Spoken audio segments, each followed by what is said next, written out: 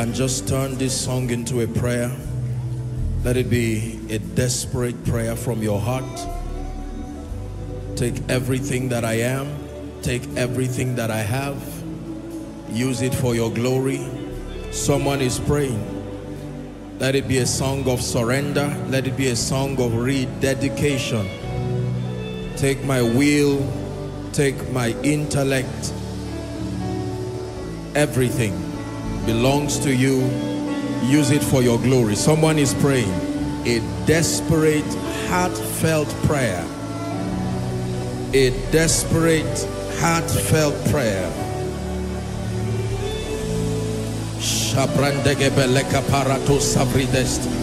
Everything belongs to you. A man can receive nothing except it is given unto him of the Lord. Someone pray. Since it belongs to you, take it.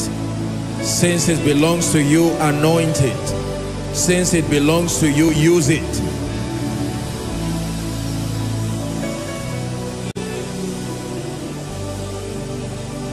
Shabalanda kaparatos balakus yatabas.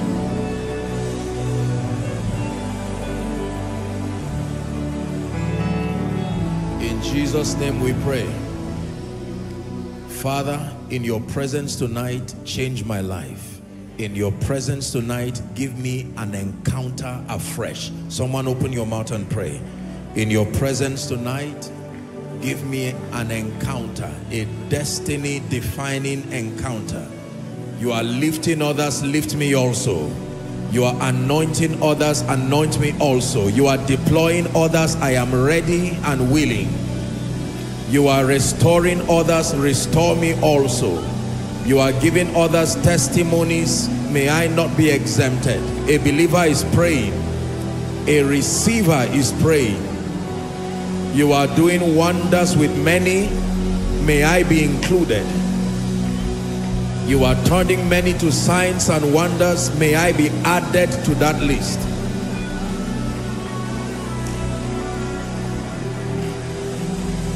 May I be added to that list.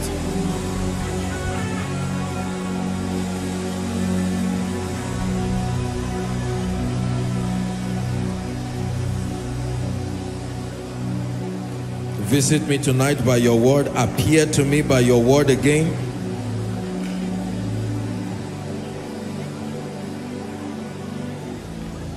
For in Jesus' mighty name we pray.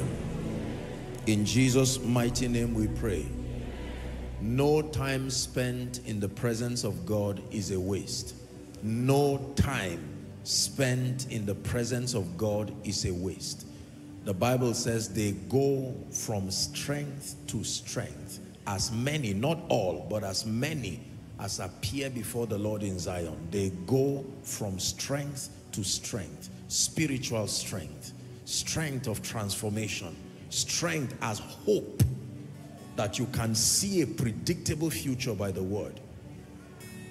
In the name of Jesus Christ. Never become too familiar with his presence. Never become too familiar with his power. Never become too familiar with his word. We're mandated to tremble at his word. Because every time we're gathered, he says, unto the Lord shall the gathering of his people be. And when we are gathered before him, it is always a feast of fat things. May your portion get to you. In the name of Jesus Christ. Please be seated. God bless you. Good evening, everybody. It's good to have us around again. The psalmist said, I was glad when they said unto me, let us go to the house of the Lord. Amen. Tonight will be a prayer meeting. I trust that will obtain grace to pray as I open our eyes to a few things. So I'll teach, then we'll pray, and I'll teach again, then we'll pray and trust God to build capacity in the name of Jesus Christ. I want to challenge us. Uh, the Lord has put it very strongly in my heart to teach this, and I want to challenge us. I want to show you and teach you tonight how, how God functions upon the earth and how men can align with God's program and cause his program to happen unhindered. You'll be learning tonight how to be a co-laborer with God. It is possible that a man becomes a co-laborer. In fact, it is in the corporate destiny of every believer that eventually you evolve by growth, by transformation, by empowerment to become a co-laborer with God. As mighty as God is, you will think he does not need men.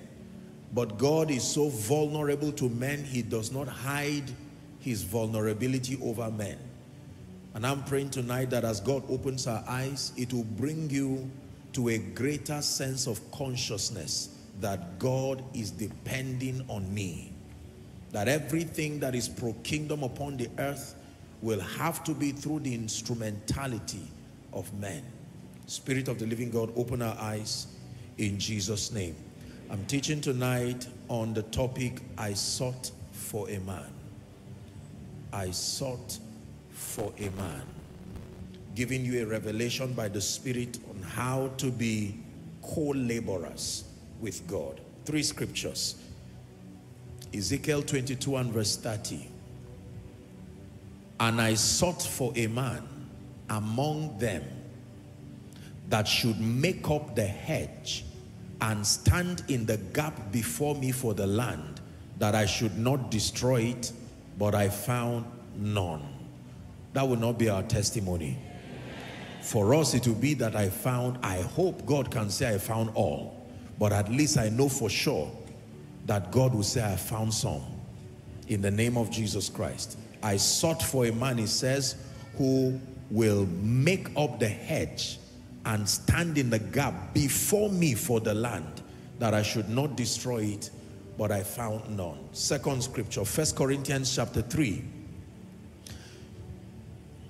we're reading from verse 1 but the verse of emphasis is verse 9 and I brethren I could not speak to you Paul is speaking now as spiritual but as unto carnal even as unto babes in Christ verse 2 it says I have fed you with milk and not with meat for hitherto ye were not able to bear it, neither yet now are ye able. Verse 3. It says, For ye are yet carnal, for whereas there is among you envying and strife and divisions, are ye not carnal and walk as men for? For while one said, I am of Paul, and another, I am of Apollos, are ye not carnal? Next verse. It says, who then is Paul and who then is Apollos? But ministers, this is powerful, but ministers by whom ye believed, even as the Lord gave to every man. Verse 6, it says, I have planted, Paul is speaking now, I have planted, Apollos watered, but God gave the increase. Verse 7, so then neither is he that planted anything, neither he that watered, but God that giveth the increase. Verse 8. It says, Now he that planted and he that watered are one. And every man shall receive his own reward according to his own labor. Take note of that. Reward according to his own labor. Let's read verse 9 together now. Ready? One to read. For we are laborers together with God. Ye are God's husbandry ye are God's building. One more time. For we are laborers together. Stop there. For we are laborers together with God. Then it says, ye are God's husbandry. The word husbandry there means God's field, God's investment. You are God's building. You are laborers together, co-laborers. Very profound scripture. Now, I've taught us in this house that believers are categorized um, twofold, essentially. That when the Bible describes the believer, there are two categories to our description. Number one, we are described according to identity. Never forget this. We are described first and foremost according to our identity. What does that mean? Eh, the, the first set of description attempts to help us see the extent of our oneness, that we are partakers of his divine nature. So, the Bible uses names like I am the vine and ye the branches. Is that in your Bible? Yes. The Bible uses statements like seated with Christ, raised up with Christ. All of those are attempts to show how connected we are to God by reason of the new birth, even by his spirit. So the first way believers are classified or described in scripture is according to identity. Everyone say identity. One more time, shout it, say identity. So in describing the believer, your first port of call is to describe that believer with respect to your spiritual identity, not biological identity, not geographical identity. If we're to describe ourselves biologically, then you would call some male, female, and so on and so forth. Geographically, you now say Igbo, Yoruba, Hausa, you know, American, Caribbean. Those are biological and geographic descriptions. But we're talking of spiritual description. In describing spiritually, everything is with respect to Christ. Every spiritual description of a believer is with respect to who Christ is. Are we together? So that we are one with Christ. We are joined with Christ. He calls himself the vine, then he calls us the branches. You find that in John 15. Hallelujah. The Bible tells us in Ephesians chapter 2 that we have been raised up with Christ and we have been made to sit in heavenly places. So this is our first description according to identity. Now, the second description, and that is, is important for our subject tonight, is according to function. The second description of the believer is according to function. So God describes us according to function. This is where you hear descriptions of the believer like light, Matthew chapter 5, salt, the Bible calls us kings and priests, Revelations 5 and verse 10. You see that now? Descriptions according to identity. The Bible calls us ambassadors. Hallelujah. The Bible calls us witnesses. Acts chapter 1 and verse 8.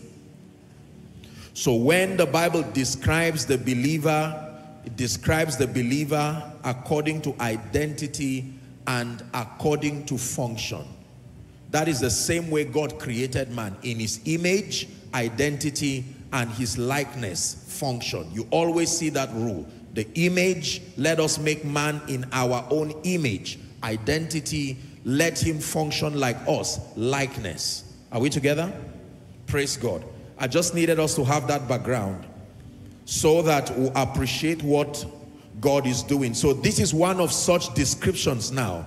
He doesn't just call us partakers he says we are also co-laborers. When it has to do with function, it is a very responsible description. This is to a matured believer that you should not just be conscious of your identity in Christ and with Christ alone. You must know that there is a responsibility component to the Christian faith. And in this responsibility component, you are co-laborers together with Christ. Hebrews chapter 3 and verse 1.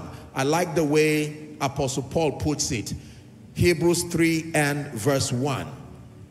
It says, Wherefore, holy brethren, then it says, partakers of the heavenly calling. Partakers, not just of his righteousness, partakers, not just of his life. As true as that sounds, we are also partakers of his calling, heavenly calling.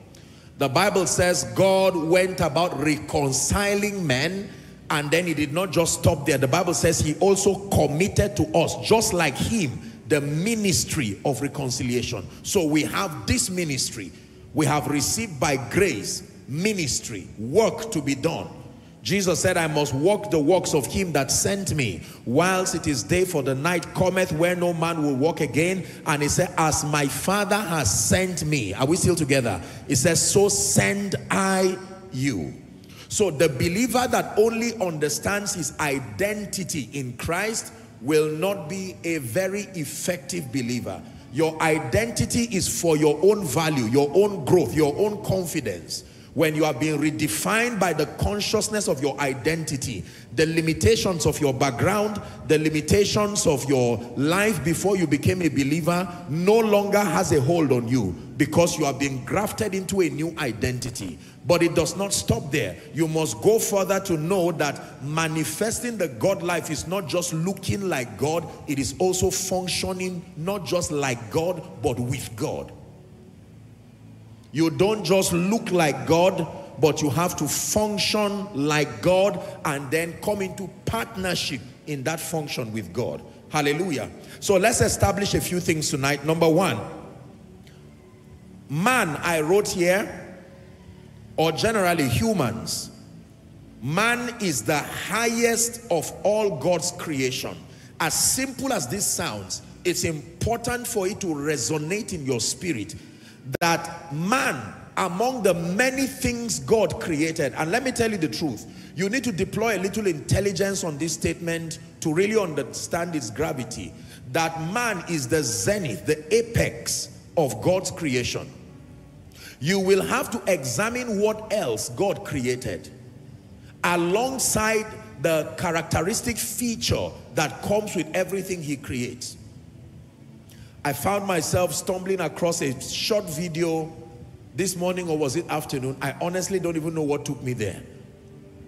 And it was a cheetah running and pursuing an antelope. Hallelujah. They were trying to describe the speed. Both of them were fast animals. And I mean, you could see the intelligence, just like two, three um, minutes or so. And you see the discipline, the focus, it kept watching till it detected that one of the antelopes had a little, maybe some wound on one of the legs and it left the herds and targeted that one. It ran like it was going to die until he caught it. You could see the antelope running, running, and I was saying, my God, so we are better than these animals. They can run more than us, oh, but the Bible still made us Lord over them. If speed were the parameter, man would be about the least of God's creation. Because for men, we are slow in many regards. And yet, God chose us beyond those limitations. We are the zenith, the apex. Nothing, no other creature was created in the image of God. Are we together? Yeah. No other creature was given the privilege of having the life of God. Now, all anything alive comes from God, but God's very life was given only to man. Wasn't given to plants, wasn't given to animals. Animals don't have zoe. Plants don't have zoe. They have their own biological life. It's a kind of life given by God, but only man. Are we together now? Only man has the life of God. This is very important. So man is God's greatest and highest creation. Genesis 1, 26 to 28. We're establishing this in seeking to understand why God needs men and how to labor with God in making kingdom come happen. We need to understand that humans are the highest of God's creation. Genesis 1, 26, 28.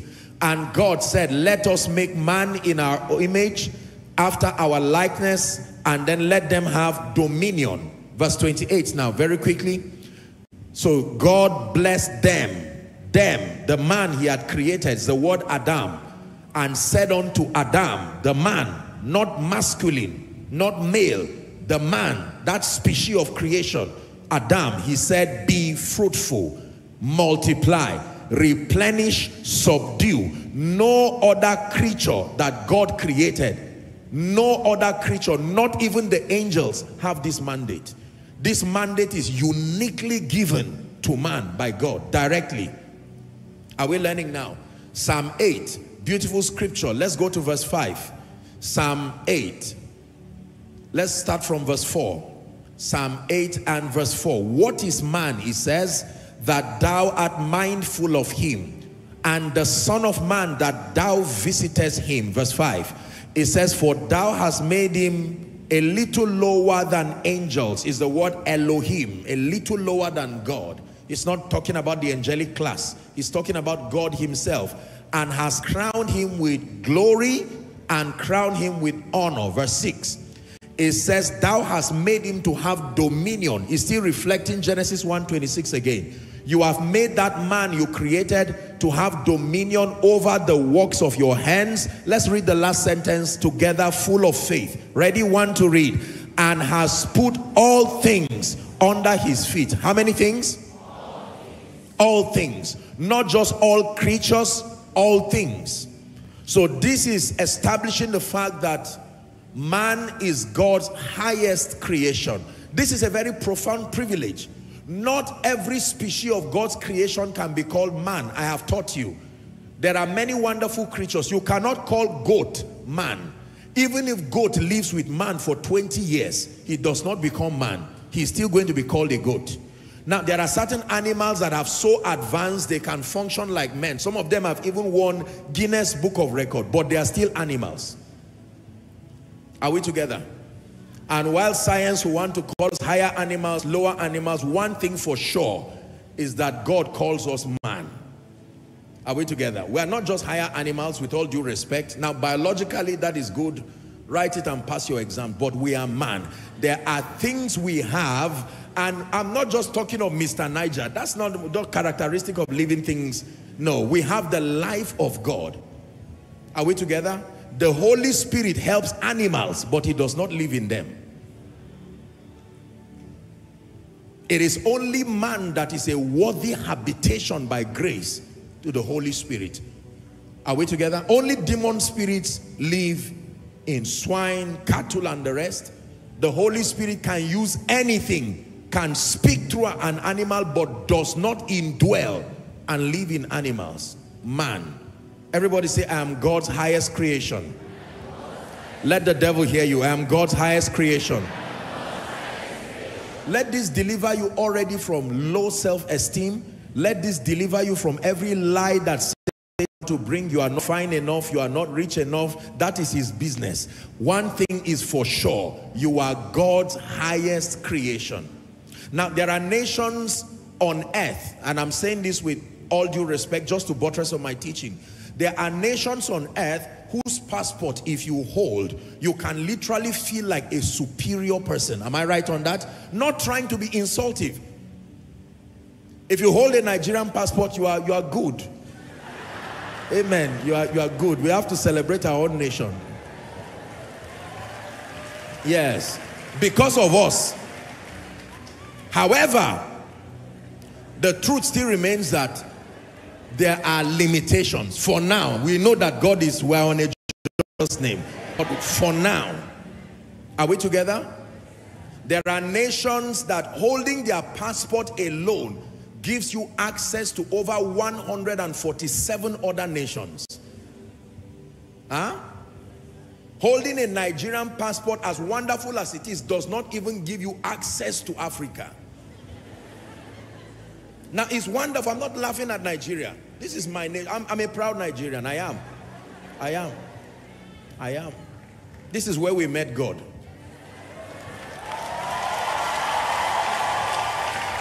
Hallelujah. Amen. The federal government should be happy for this, this statement. You are promoting the image of the country. Amen. Are we together? Now, back, back, to, back to class. Back to class. Do you know, listen to me, there are people simply, even if they are thieves, because they were fortunate to be born as citizens of X nation, Y nation that is purported to be more superior, say America, say UK, that person immediately, on account of that, has an advantage. While we will not want to admit it, the truth is still the truth. Maybe it will change one day, but for now, it is a big advantage. Are we together? That's what happens when you come into the consciousness that I have been called out of darkness. Now, let me tell you the truth. While you are making that confession, you are the only one who will believe it.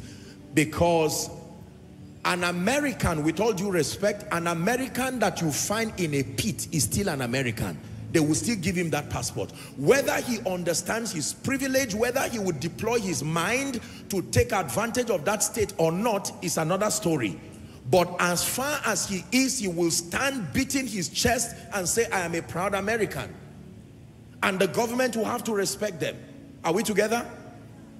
There are Nigerians that have been privileged to be born in America, Australia, and you will see somebody looking as dark as me and he tells you I'm an American, and you can't say you are lying. He was born there. Others were not born there, but they became citizens there. Whether you were born there or you became citizens, your new status changes everything. Someone say, my new status. Come on, prophesy. My new status is royalty. My new status is greatness. My new status is glory. You are not making a blind confession. If you don't believe this, you cannot even believe God to use you. Are we together? I'm just educating you that you are more than a goat. You are more than a homo sapien. You are more than, you are not just the brightest of the many species. Science has done its best, but I am telling you, what brands you away from other animals is not just your mind, is the fact that you have the life of God. You were molded by God's own hand, having his image and his likeness. Shout amen. amen. So man is the zenith of God's creation. Number two, the second thought that we need to learn tonight is that every activity, listen carefully, Every activity that happens upon the earth is man dependent. Every activity, good or bad, evil or good, every activity that happens upon the face of the earth is man dependent. Evangelism, man dependent. Arm robbery, man dependent. Wickedness, man dependent. Promotion of love, man dependent advancement and civilization, man dependent. Are we together? Stagnation, individually, corporately, and nationally, man dependent. Every activity that happens upon the earth is man dependent. Psalm 115 and verse 16. Psalm 115 and verse 16. Shout it with me if you can see it, please. Ready? One, two, go. The heaven even the heavens are the Lord's. Uh-huh. But the earth has he given to the children of men.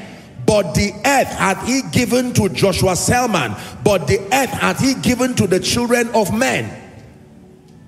Everything that happens upon the earth is man, man dependent. That means if anything at all should happen, will happen in your life, if anything will happen as touching God's program, as mighty as God is, by his wisdom, he has so designed that system. I sought for a man. Even though I am God, creator of the ends of the earth, all powerful, all wise, omniscient, omnipotent, omnipresent, I still seek for men. I sought for a man to bless you. I sought for a man to reverse the course. I sought for a man to introduce me to you. Is someone learning? Everything upon the earth is man dependent. I've taught you that in this kingdom, you are as blessed as the man God sends to you. You are as blessed as the man God sends to you. You are not just as blessed as the houses you have. You are not just as blessed as the naira or kobo or dollars you have in your bank account. In truth, the real treasure of a man is the loyalty of men. You will be learning this. You are as blessed as the men that are around you. I know people who have money but they do not have men. And sooner or later they see the limitation of paper without men. What gives value to everything on earth? I have taught you this. You are educated spiritually enough to know that what gives value to everything on earth, business, education, is the presence of men. Buying and selling only makes sense because there is a man at the back end to receive that exchange. Am I right on that? If every man on earth were dead, even if you leave all the vaults on earth open, it will not do you any good. Promotion, man dependent. Retrogression, man dependent. Listen, if you know this, you will not only understand God, study God, you will also study men. There are many people who know God, but they have ignored men. And so they, their lives can be spiritually robust, but the advancement of God's program through them and the advancement of their own destiny has been shamefully and painfully stunted. Men dependent. Hallelujah. What do you call promotion? A man or a group of men who vet you and are satisfied that you are worthy of increase. Increase of responsibility together with accompanying privileges. That means if the men vet you and see that you are not worthy of promotion, you call it stagnation. It may be enhanced by demon spirit, but the person who signed that paper was not a spirit, a demon spirit. He was a man. Who signs the paper for your promotion? A man. Who signs the paper for your lifting? A man. It is a man that accredits you and says, from this day, you are a doctor. It is a man that accredits you and says, from this day, you are no longer a spinster or a bachelor, you are husband and wife. I declare you. It is God, but I declare you husband and wife. Is that true? It is a man that says you are declared acquitted. Go. You have no case. It is a man that says for the next 30 years, you are going to be inside a cell. And you may be stronger than that man, but you will still stay in that cell. If anyone ever told you men are not important, listen to my message that man has such power it can end another man's life even execution.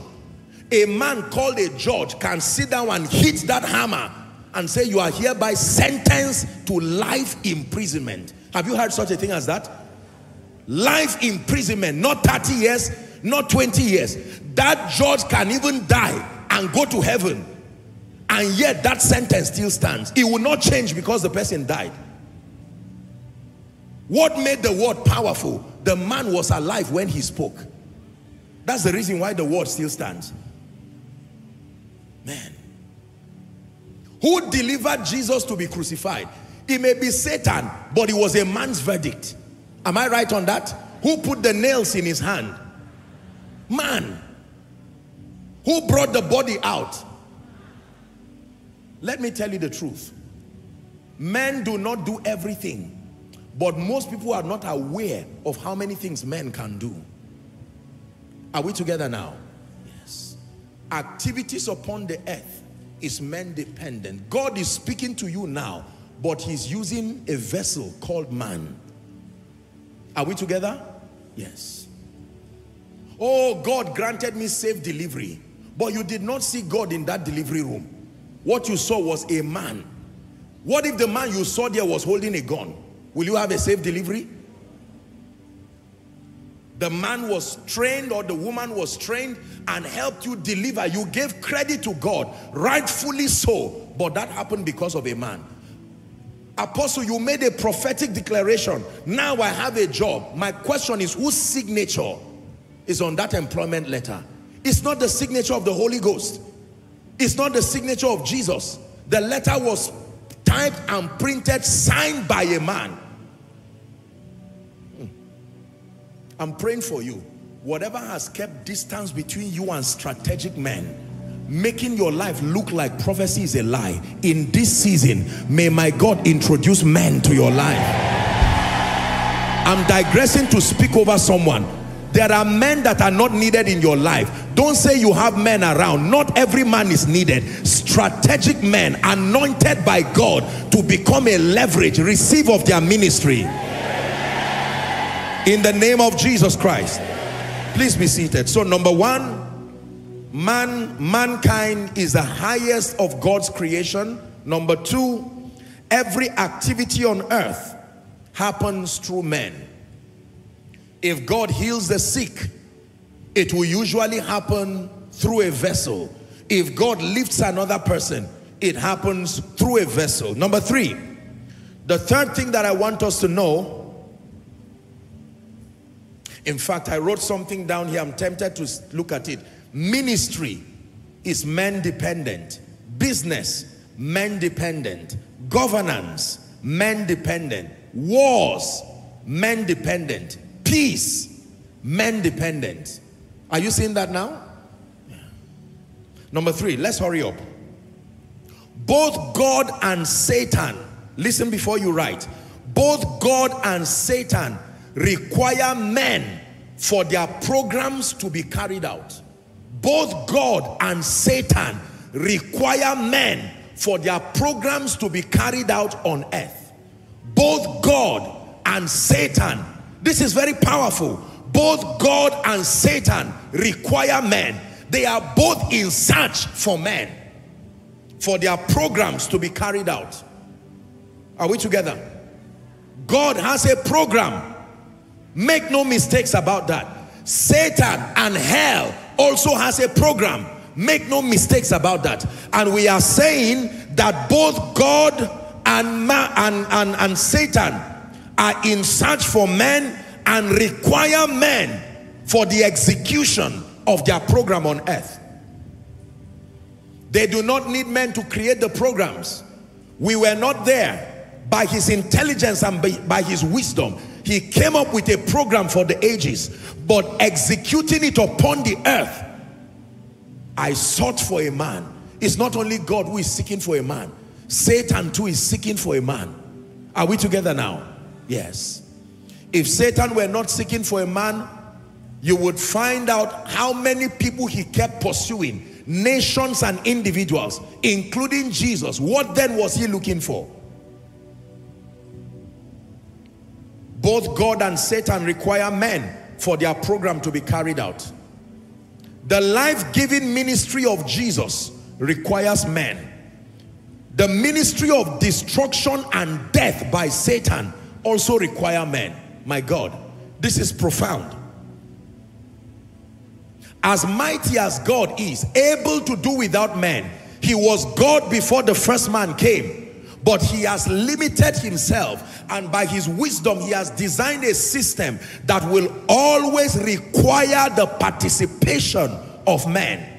Make reference to my teaching, let them have dominion. I taught you there um, that, now this is my observation from scripture. There are many people who have taught that God needs man's permission to function on earth. I don't believe that. The Bible does not teach that. What God needs is man's participation and cooperation, not permission. When you use the word permission, you limit God and make him to become like an idol. Are we together? God can do without men. If you will not praise me, I will raise up stones, but I will still use something. Are we together now? So God does not need permission from men. What he needs is participation, cooperation from men.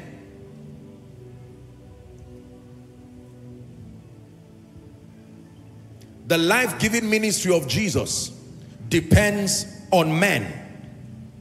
The ministry of destruction and death depends on men. Psalm 89 and verse 21. Psalm 89 and verse 21. Let's start with 20. I have found David, my servant. Who is speaking? God is speaking. I have found. That means I searched actively. I found David, my servant. And with my holy oil, I have anointed him. I have found. Can you imagine? God is expressing excitement that I've been seeking for a man and out of the many men to be available, some nonchalant, I have finally found a man worthy of my anointing him. I have found David my servant. So both God and Satan require men. In Second Thessalonians chapter 3 and verse 2, I will show you that Satan too has found some men. Go ahead and read. One, two, read. And that we may be delivered from unreasonable and wicked men. For all men have not faith. What are they called? Unreasonable and wicked men. Who found them? Satan. Is he not called the wicked one? He found them. Not all men are in the faith. Not all men are in the light. God has found men. Unfortunately, Satan has also found men. He deceived them lied to them like he beguiled Eve. Using subtlety, seduction, he lured them into giving their allegiance to him consciously unconsciously. And for as long as Satan finds men, our world is in trouble because he will be able to execute his program like we see across the nations. He will be able to inflict mayhem on people, not just spiritually. I hope you know that Satan's ultimate desire is not just to influence people spiritually. Satan wants a physical effect of his presence upon the earth. Hallelujah.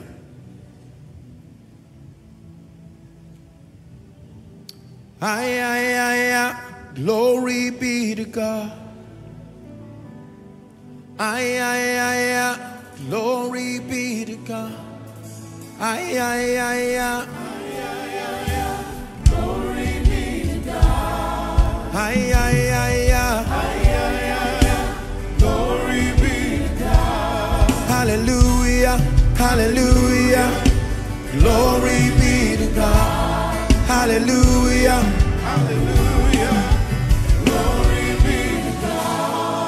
Proverbs chapter 6 from verse 16 to 19 Proverbs describes seven kinds of men that Satan needs for his program to happen on earth seven kinds of men described here Satan desperately depends on them as much as Satan will want to give you an impression that he is almighty as much as Satan will want to give you an impression like he can veto your will and destroy you it is a lie as mighty as God is, he limited himself to midwife his program through men.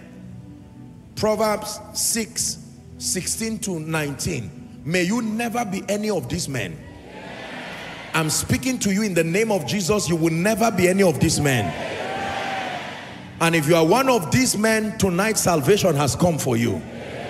The Bible says, these six things does the Lord hate Yea, seven are an abomination unto him. Are you ready? Seven kinds of men. Let's go. Number one, a proud look. This is a description of a kind of man. Number two, a lying tongue. A description of a kind of man. Number three, hands that shed innocent blood. The description of a kind of man. Number four, a heart that devised wicked imaginations another kind of man. Number five, feet that be swift in running to mischief, another kind of man. Go ahead. Number seven, a false witness that speaketh lies. Amplified will say, or half truth. They are still lies. Are we together now? A false witness that breathes out, okay, that speaketh lies and then number seven, it says, he that soweth discord among brethren. Take away these seven kinds of people. You can see Satan and say good afternoon and pass. And there's nothing he can do. He is that incapacitated. Everywhere you see infliction of darkness, it was midwifed by the presence of these seven groups. Is someone learning now? I'm showing you that it's not only God who is looking for men. Satan is also looking for men. The same way you are doing evangelism, Satan is also doing evangelism. The same way Satan has men. I mean, Jesus has men, Satan has men too. The same way God has men that teach and raise other men, Satan has men that teach and raise other men. There is a parallel of everything that God is doing. The central point is man. This is how important you are. Seven kinds of men. Now, what does it mean to be a co-laborer with God? It means that every man has a role to play. Listen carefully. Every man has a role to play to make destiny fulfillment and kingdom advancement a reality. What does it mean to be a co-laborer with God? having this consciousness first it starts as a consciousness that you have a role to play in making destiny fulfillment and kingdom advance a reality.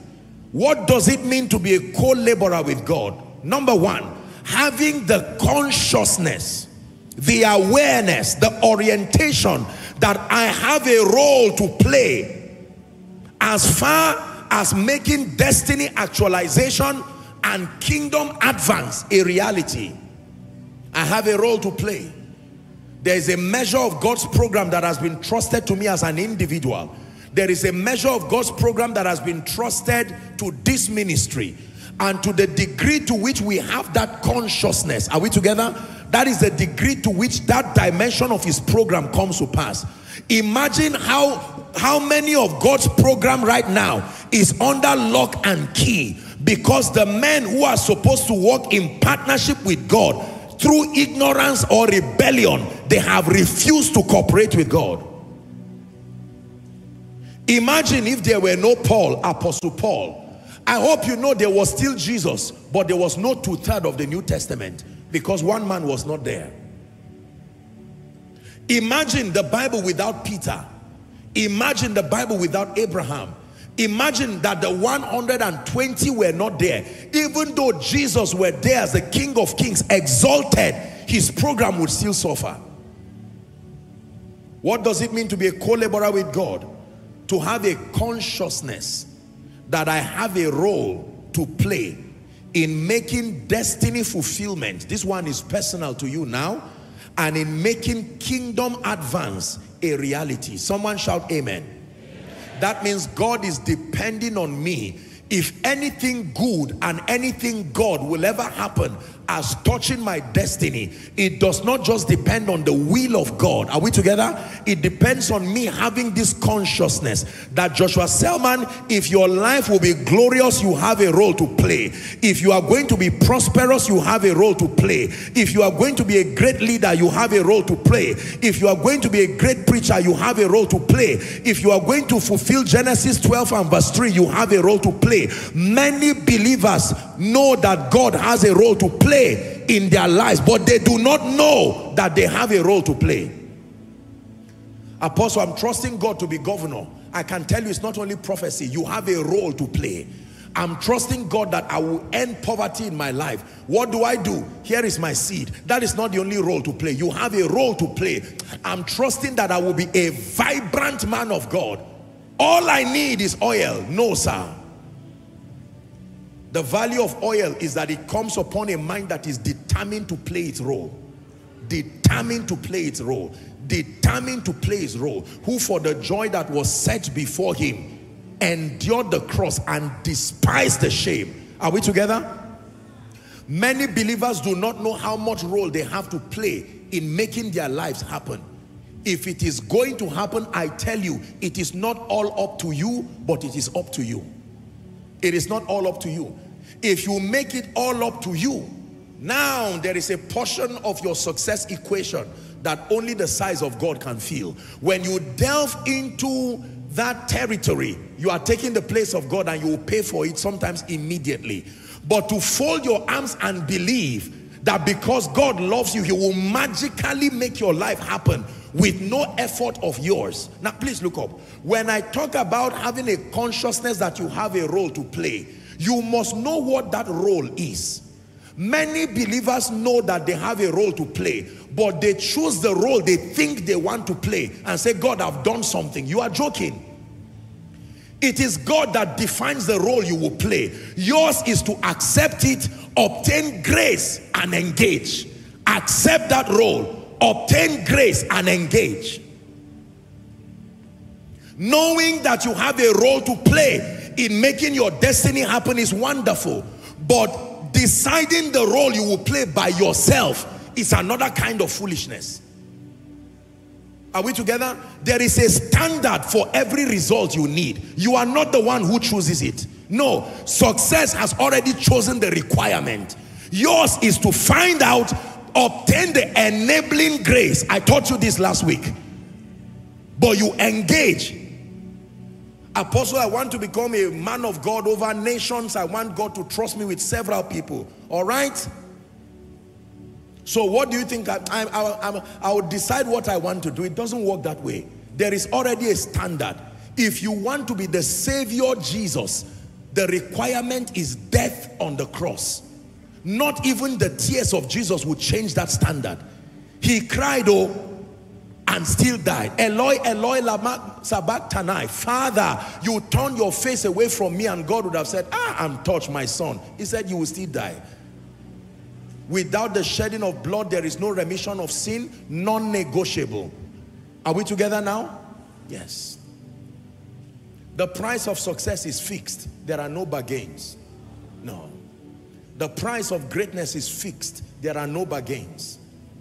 No. Greatness is not a market where you go and price something from 80 naira to 75. Uh -uh. The one God will price, the product itself has already been bought. But the price for delivery, like I've taught you, that one too is not cheap. And you have to know what that price is. Consciousness. Great people always think in terms of their participation, not just things happening. The moment God speaks to you, if you carry this orientation as you are learning tonight, if you hear God say, I want to go somewhere, I want to visit your village, or I want to visit Abuja, you don't just say, I woke up from a dream. God is going to visit Abuja. That is an irresponsible believer's approach. But a co-laborer with God knows that every time there is a mandate, two people are involved. God and me, the spirit and the bride, the spirit and the bride. I want to heal your family. I have a new mandate now. The spirit of God is in the business of healing. Lord, what is my role? And he says, now a son is talking. I want to deliver your family out of poverty. You don't say, I have seen it, it must happen. It will not happen, I assure you. And God will not be a liar. Simply because you have not carried the consciousness that every command that comes from God also comes with a mandate to you to make it happen. If God says, I want to lift you, do not hear, I want to lift you alone. Listen well. You will hear what you need to do to partner with that lifting. If God says, I want to increase your ministry, don't just hear increase alone. You did not hear well. You must hear what you need to do. Someone shout co-laborers with God. Say co-laborers with God. Over your destiny, you are a co-laborer with God. Everything God has told you about your destiny is not a lie, but it will never happen for as long as you are hoping that someday something will happen. I take my destiny serious. When I land this, the moment I hear something from God, I go to work immediately. I don't spend all my life celebrating prophecy. I thank God if I wake up with a nice dream, Father, thank you because I see that this is what you are going to do. Get me a pen and paper. We need to plan with God. We need to dream with God. What is my own role now? There will always be something you have to do. He spat on the ground, made sputum out of it, put it in the eyes of the blind man and said, go, I won't escort you. I've released the power, released through obedience. Be on your way to the pool of Siloam. What if the man did not have any helper? Do you know that that command itself provided the grace to get there? The grace to get to the pool was in the command. How the man got there is not our business. We know that he got there. If that guy did not get there, that mud would dry in his eyes and his state would be worse than he was.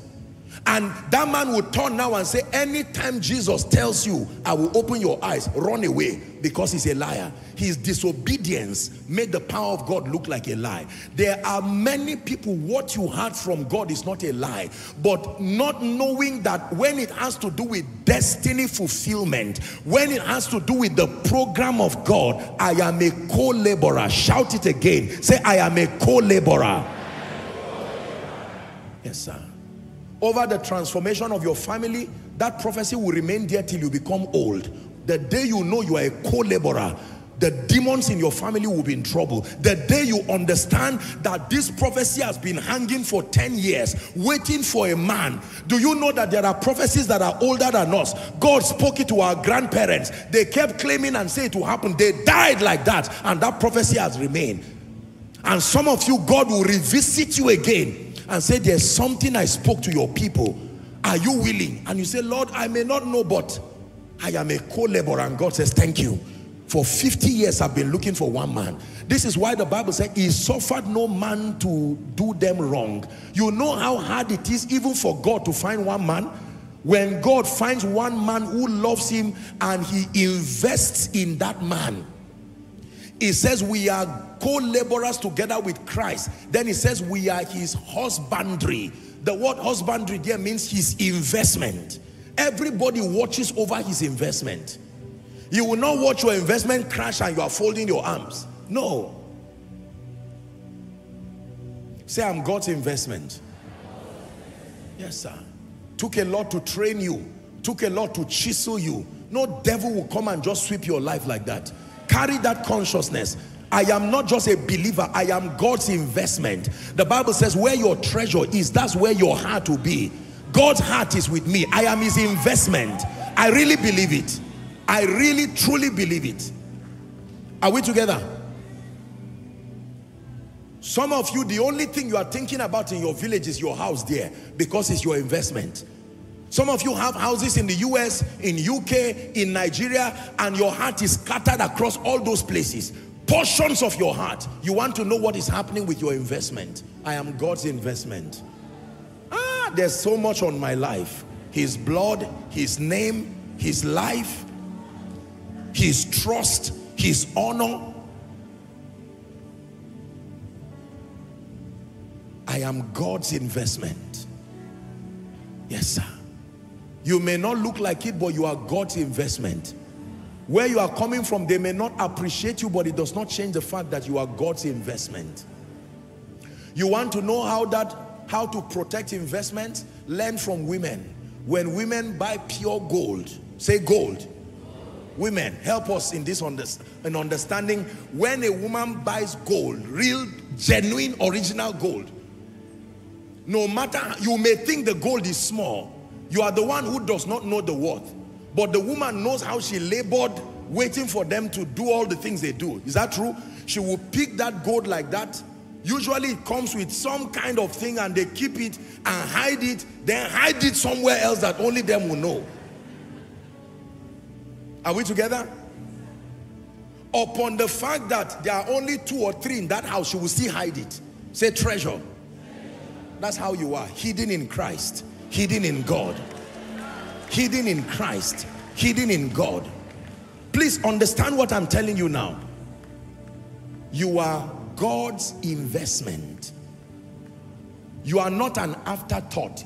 He took out time while he was depositing the blood, the Holy Spirit, he still saw your village when he kept doing it. He still saw whatever. Don't let naysayers and social media and so people who don't know your background, they don't know anything about you. Don't let anybody just come up and say, if you are not like this, if you are not rich like this, if you are not beautiful like this, not handsome like this, they should carry their perspective and go away. Go away quickly. Say, I'm God's investment. Ah, be healed while you are saying this. Be healed from complex, whatever is stopping you from being used by God. Anyone can look at you and say, you don't look like a preacher, you, are, you don't carry that charisma. That is their business. You are still God's investment. There are times, those of you in agriculture, nobody goes to farm inside an expensive estate. Sometimes the farms that bring the greatest foods, they are somewhere that you would think you are going to a herbalist place before you see a large expanse of land but that's where the farming happens. You take the food from there then you bring it to the city. Am i right on that? The largest farmlands are not in the city. They are outside of the city. There is something god is doing in your life. Just because you have not come to the city yet does not mean you are not god's investment. Mm. he's watering you every day and watching you grow He's watering you every day and watching you grow. Out of all the people in your family, you are the only person who has given him this kind of attention. God is not, you know that God is mighty, but the thing that surprises me about God is that he's not proud. If God were to be proud, nobody would say you are wrong. And yet he's not proud. When God finds a man, he pants after that man as if he lost his power I have seen God's desperation over men. We are men who sometimes will need people and act like I don't need you because of our pride. God is not like that. When he finds you, you, you literally can feel him reaching down to say thank you. I, I asked your grandfather, I asked your father, now that you are here, I won't let you go easily. Most of you don't know that you are engraved in the palm of his hands. That's why you give Satan a chance. He just makes it look like I can steal you anywhere. Go and read John 17 all that you have given me I have kept and none is lost except the son of perdition. He had to account for Judas. Say I am God's investment. Someone say it. Those who are following online say it oh I am God's investment. A lot has gone into me. A lot has gone into me. A lot has gone into me. Ah God would rather fix me than throw me. I am God's investment a lot has gone into me. Are we together now? God will rather correct you than throw you. You are God's investment. God will rather refire you.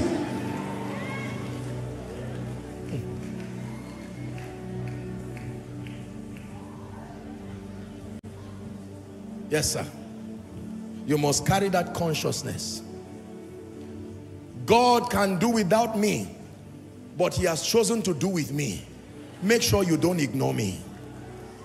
If God did not ignore me and you ignore me, you will pay for it. It's not pride, it's the truth. I will not ignore you because you are that special to God. You see, when you, this is the basis for respecting a believer, not the car that is parked outside. No. Because that car can change overnight. But your status with God, even if you are Job, he will rather fix you than throw you. Even if you are Rahab, he will rather fix you than throw you. So when you see God insist on men, and you are saying, God, what is it about this family you will not leave them? This is the reason. You are God's investment. I have loved you with an everlasting love. Man of God, you can start again. You are God's investment. My dear sister, you can start again. You are God's investment. This is, I'm drumming it because there is an anointing on this statement I've made. God's investment. There are a million men of God on earth. I agree, but I am God's investment. Unique investment. My sister, there are many women who can pray, but you are God's investment. He does not treat you like he's treating any other person. Don't mind naysayers and ignorant people who don't know your value. You are God's investment. I'm drumming it in your heart. I want it to keep playing in your mind as you sleep. I am God's investment. God's investment. His hand is upon me. What's that P. Daniel song? Sing it for me. One Yoruba person sing that song for me. Your hand is upon me, giving me speed.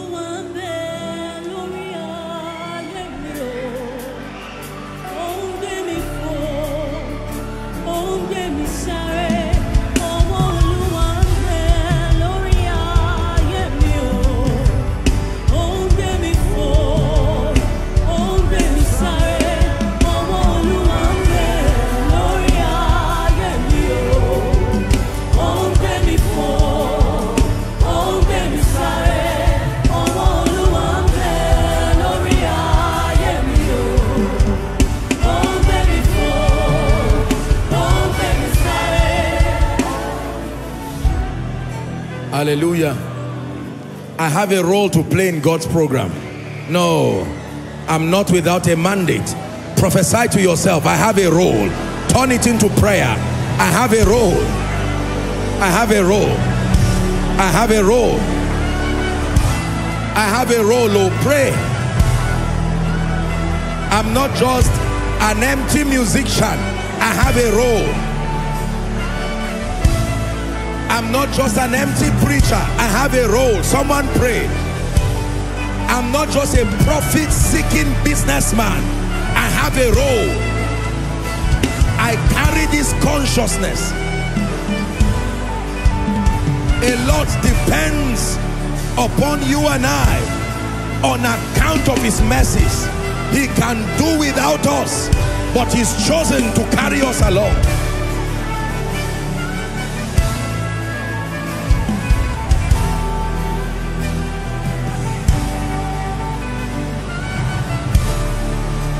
Hallelujah. Hallelujah. Praise the name of the Lord.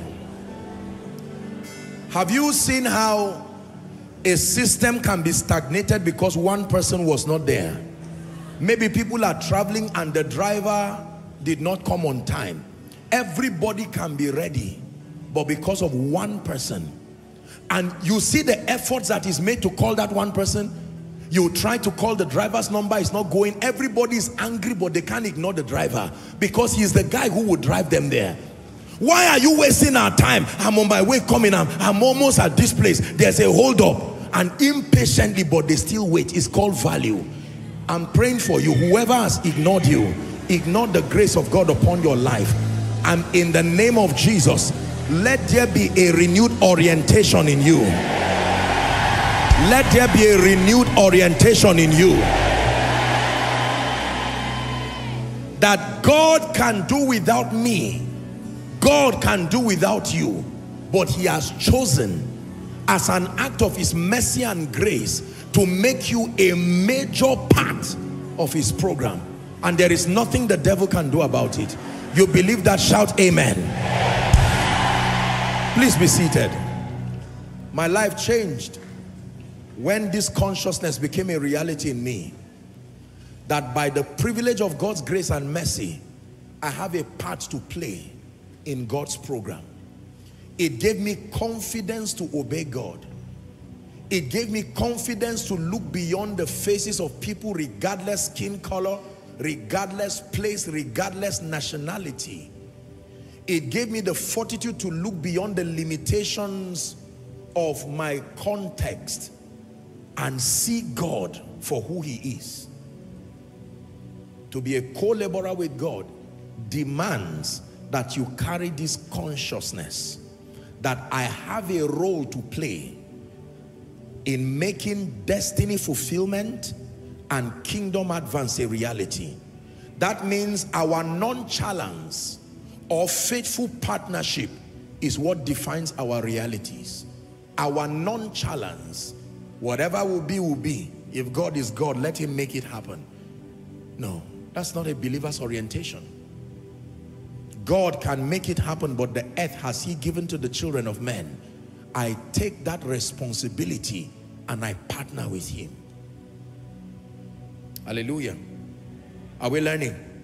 Now, there are two questions I want us to answer very quickly. The first question is found in Genesis chapter 3 and verse 9. I hope God is helping someone tonight. I sought for a man. God is helping us to be co-laborers. Co-laborers. Let's read together. And the Lord God called unto Adam.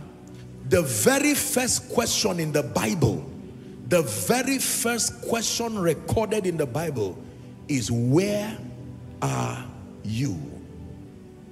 Where are you? This is a very profound question. Adam, where art thou? While I was preparing these notes, it was just quickened in my spirit do you know what this means? It's a question. This is the very first question in the Bible that God is asking man. Where are you? Where are you in my program? Where are you that darkness is still destroying your family? Where are you that destinies connected to you have not risen? Where are you? He's not just asking location. He's asking what happened to your consciousness. He's not just saying, where are you in terms of, okay, you are in Garki, go to this place. No, where are you?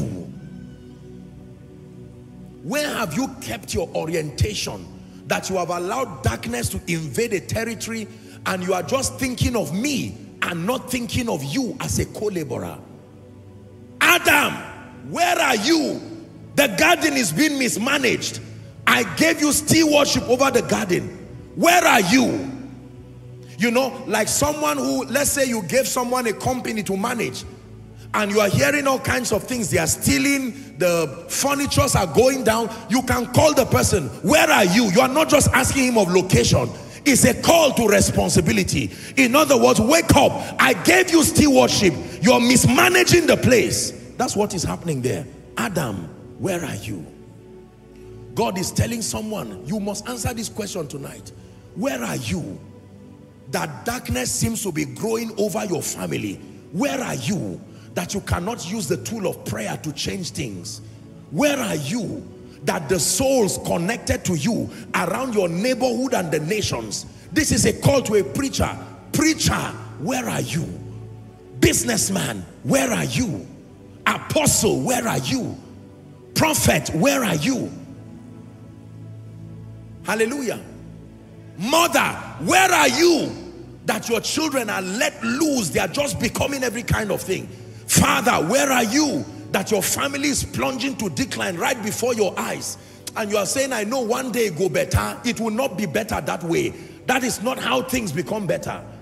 The day you make up your mind and say, I am the father in this family, a husband to this wife. Lord, you said any man that cannot for his family has denied the faith. I want to come into partnership with you to take over this shame. Now that is a co-laborer. That is the day you are ready to get help from heaven. But just saying, I submitted my CV, this man is not even calling me. No, where are you? It's a call to responsibility. Man of God, where are you? That you have not raised other mighty warriors in the kingdom. There are people by God's calendar should be at certain frequencies in the spirit who are under your grace. Where are you that you are failing in that assignment? Where are you? God is speaking to somebody. Where are you? That you are in ministry and it's not. You are not in ministry. There is no impact whatsoever. Where are you that the nations are dying? Where are you that the body of Christ is still looking for finances for kingdom activities? Where are you? With respect to your mandate, with respect to that which I've called you to do. Are you ready to answer that question? Let me show you the answer to that question. The answer to that question is found in Isaiah chapter 6 and verse 8. God kept asking that question. A proper interpretation to that question is found in verse 8. Whom shall I send and who will go for us? That is the response to the question he asked Adam. Here am I, send me. When God says, where are you? You don't say Abuja. That's the wrong answer. When he says, where are you? He means, should I still depend on you? Should I still depend on you? You have your will. Are you going to disappoint me again? Like your father did? Like your grandfather did? Like the other preacher did? Are you going to disappoint me? Can I still trust you? He said, here am I.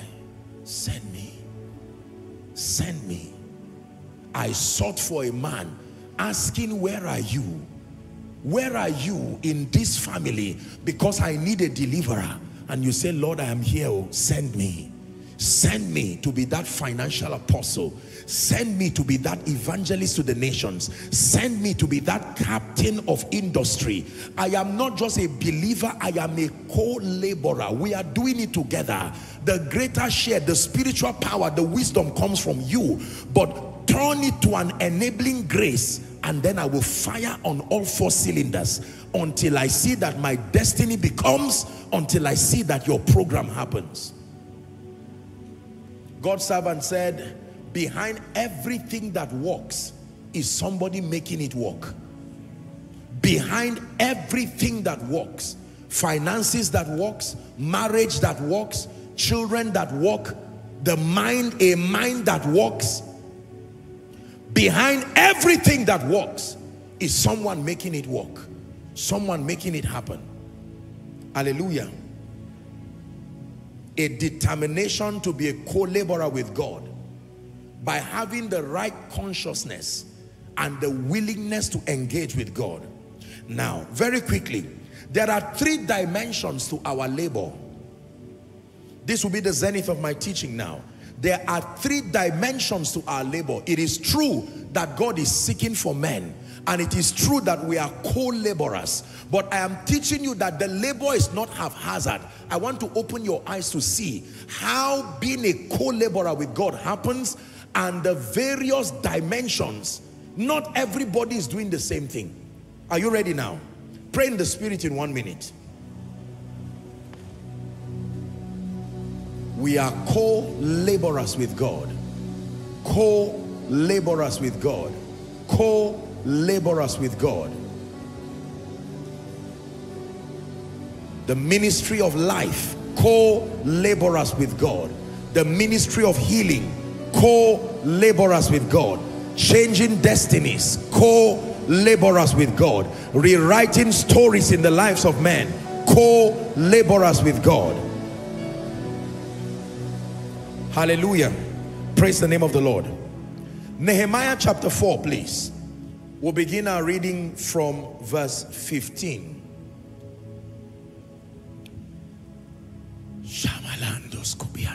Hmm. And it came to pass when our enemies heard, let me your attention, that it was known unto us that God had brought their counsel to naught, that we return all of us to the wall. Listen carefully. Everyone unto his work. Everyone unto his work. Next verse. And it came to pass that from that time forth, that the half of my servants wrought in the work and the other half of them held both the spears and shield and the bows and the habergeons and the rulers were behind all the house of Judah. Next verse, please. It says, they which builded on the wall, different. And they that bear burdens, different. With those that laded every one of his hands wrought in the work and with the other hand they held a weapon. Verse 18 it says for the builders everyone has a sword girded by his side and so builded and they that sounded the trumpet were by me. This is the distribution of labor. Verse 19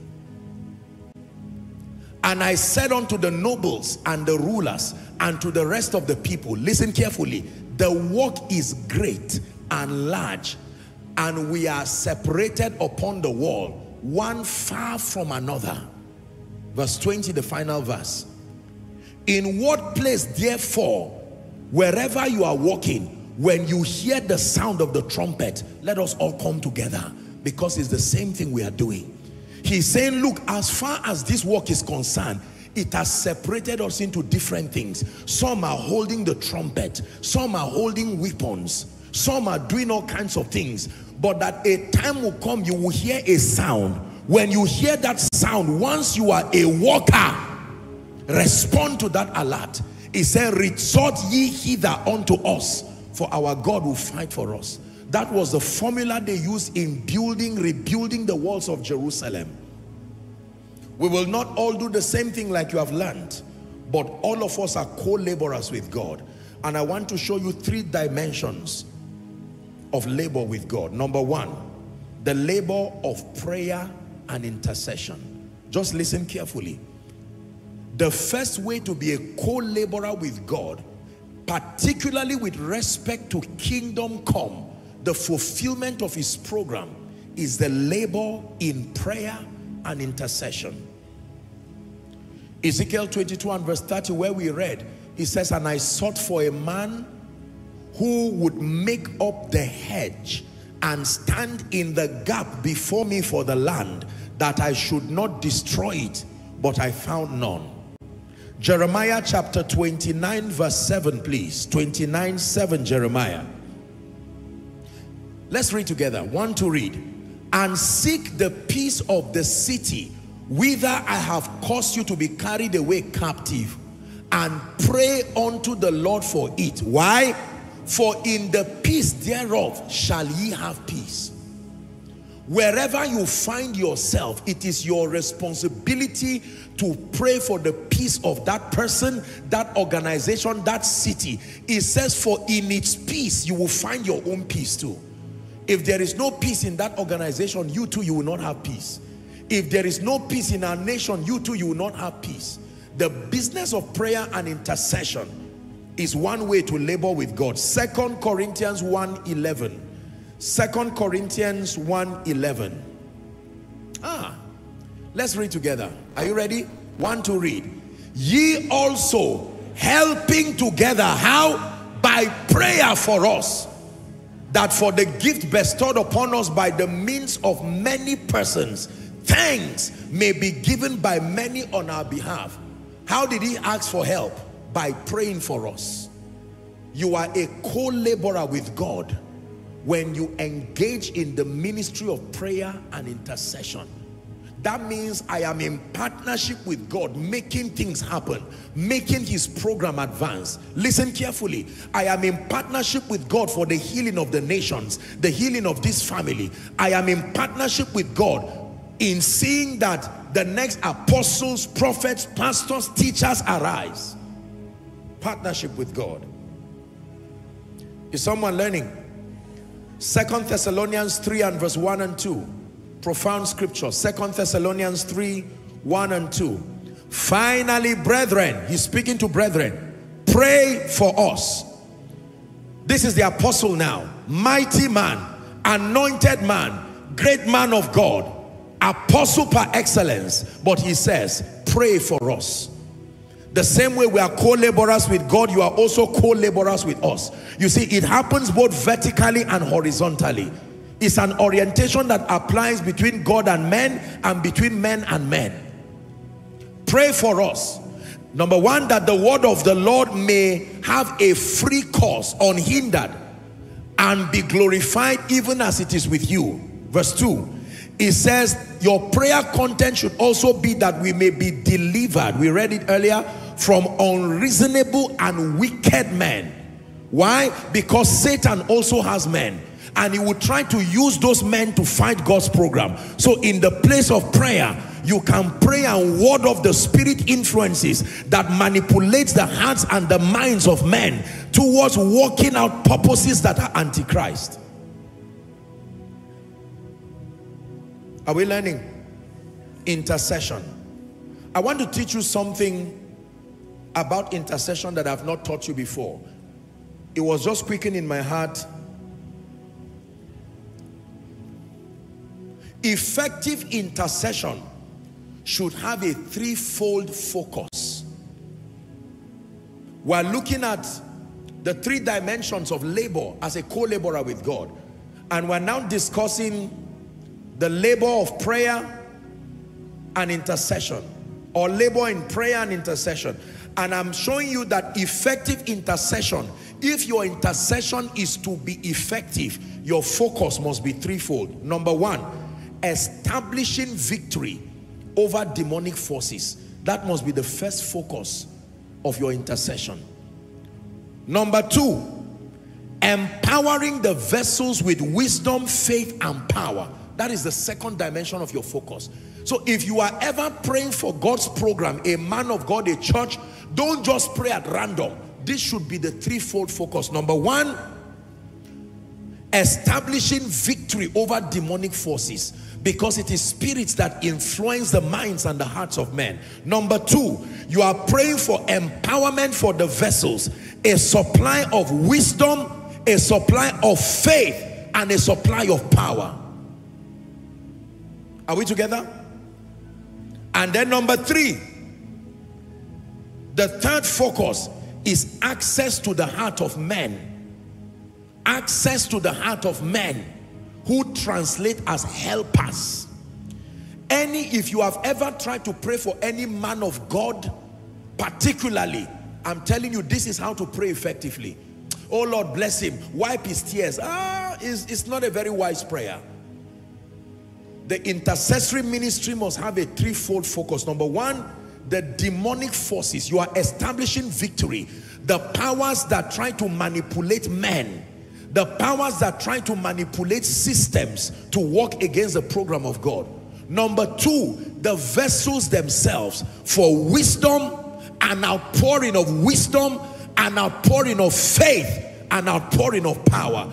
And then number three, you are praying that God will raise men to stand by those vessels that they will have access into cities, access to systems and structures you intercede like that for anyone or God's program and your intercession will be very effective. Most people pray, but the content of their prayer is not rich and wise. We just say a lot of things in prayer and say amen. The first way we labor with God is through prayer and intercession. And we're saying interceding should have a threefold focus. Not limited to the three, but they are foundational in terms of your focus. Warding off demonic forces that manipulates the hearts and the minds of men. Praying for empowerment for the vessels. Empowerment with wisdom, faith, and power. And then praying for access to the hearts of men. The men that are translated as helpers. Are we learning now? So the first way we labor in partnership with God is through prayer and intercession. You would notice that every week from a few weeks ago, we've been praying here, praying for the conference that is beginning this week. This is part of the principle. It is not just praying for the conference. Every week, we pray for everything. There is no week that enters blindly and carelessly. We immerse every week richly in prayer and intercession. Do you know why? For this threefold reason. That all the demonic powers that fight the program of God and fight our role in that program that they be warded off through the power of prayer. Number two, that God will continue to grant us wisdom, grant us faith, and grant us the enablement of the Spirit. And then number three, that God will continue to raise help to make the work effective. Can I pray that prayer for you? Let me be an intercessor for you in one minute. That in the name of Jesus, who is the Son of the living God, I pray for you. The forces that fight God's program, fight your role in actualizing God's program. I curse them right now in Jesus' name. By the ministry of the blood, I decree and declare over you that every legal access Satan has over your life and over your bishopric, in the name of Jesus, let the blood speak right now. Let the blood speak mercy. Let the blood speak freedom. Let the blood speak jubilee. Let the blood speak liberty. Number two, I pray for you that the wisdom that is needed in this new season, wisdom grows because it is alive. The wisdom needed to scale your impact the faith needed to dare things that men cannot even dare. And in the name of Jesus, the empowerment of the Spirit that helps you to run through a troop and to leap over walls. In the name of Jesus, may they rest upon you. Empowered by wisdom, receive it. Empowered by the spirit of faith, receive it. By this impartation, fear dies in your life the fear of the past dies in your life. The fear of opinions of men die in your life. The fear of failure dies in your life. The fear of the future dies in your life. In the name of Jesus. And then I pray for you, seeing that even your destiny is men dependent, everyone ordained by God to show up in your life, your ministry in this season, to make your calling and your election sure. I pray that speedily they will show up. I pray that speedily they will appear. I say it again, speedily they will show up. Speedily they will appear. In the name of Jesus Christ. Please be seated. I sought for a man. You want to come into that co-laboring partnership with God, your first port of call is to engage strategically in prayer and intercession. Let me tell you this.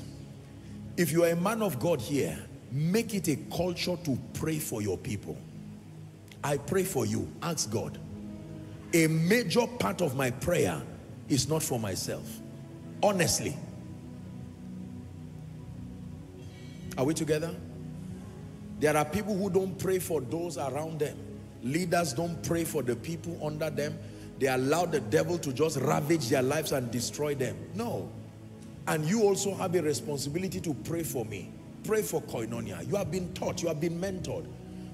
that as we are traveling right now, if in your mind you think, oh, Joshua Selman is traveling to US, traveling to Canada, he's going for a program, then you have not learned well.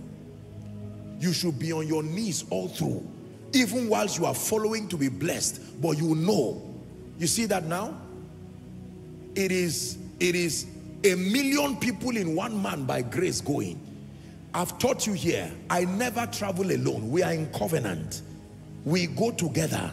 You may not be able to go there, but your prayers, as we travel, your prayers, Lord, unction like never before. Let your word find cause. Let sinners be saved. Let the lost be saved. Let there be signs and wonders bringing validation to your name. Plant a seed in someone. Raise the next revivalist. Let there be the people. Let it be like the upper room. Let there be an outpouring. You are interceding. You may be doing that in your room, but let me tell you, you are in America too. You are in Canada too. You are wherever too in God's mind, you are not, wherever his program is, whoever is praying is also there. Are we together? Number two, very quickly. The second way we labor with God as co-laborers, as men that God has found, I call it the labor of active service. The labor of active service. The first is the labor of or the labor in prayer and intercession. The second is called the labor of active service. Matthew chapter 9, 37 and 38. Matthew chapter 9, 37 and 38. Here's Jesus speaking. The harvest truly is plentiful, but the laborers, the laborers are few. Verse 38. He says, pray ye therefore.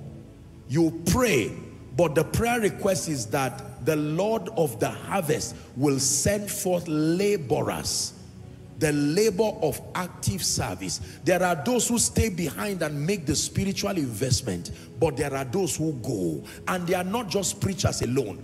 They are in active service in business. They are in active service in governance, in active service in leadership in active service in ministry.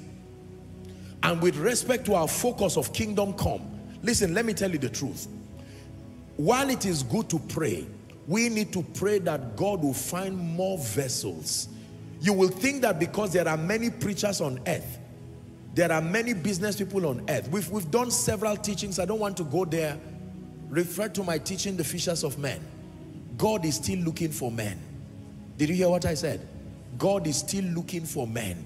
When there are few men, they become an endangered species. When Satan strikes one person, that can end, it can impede God's program.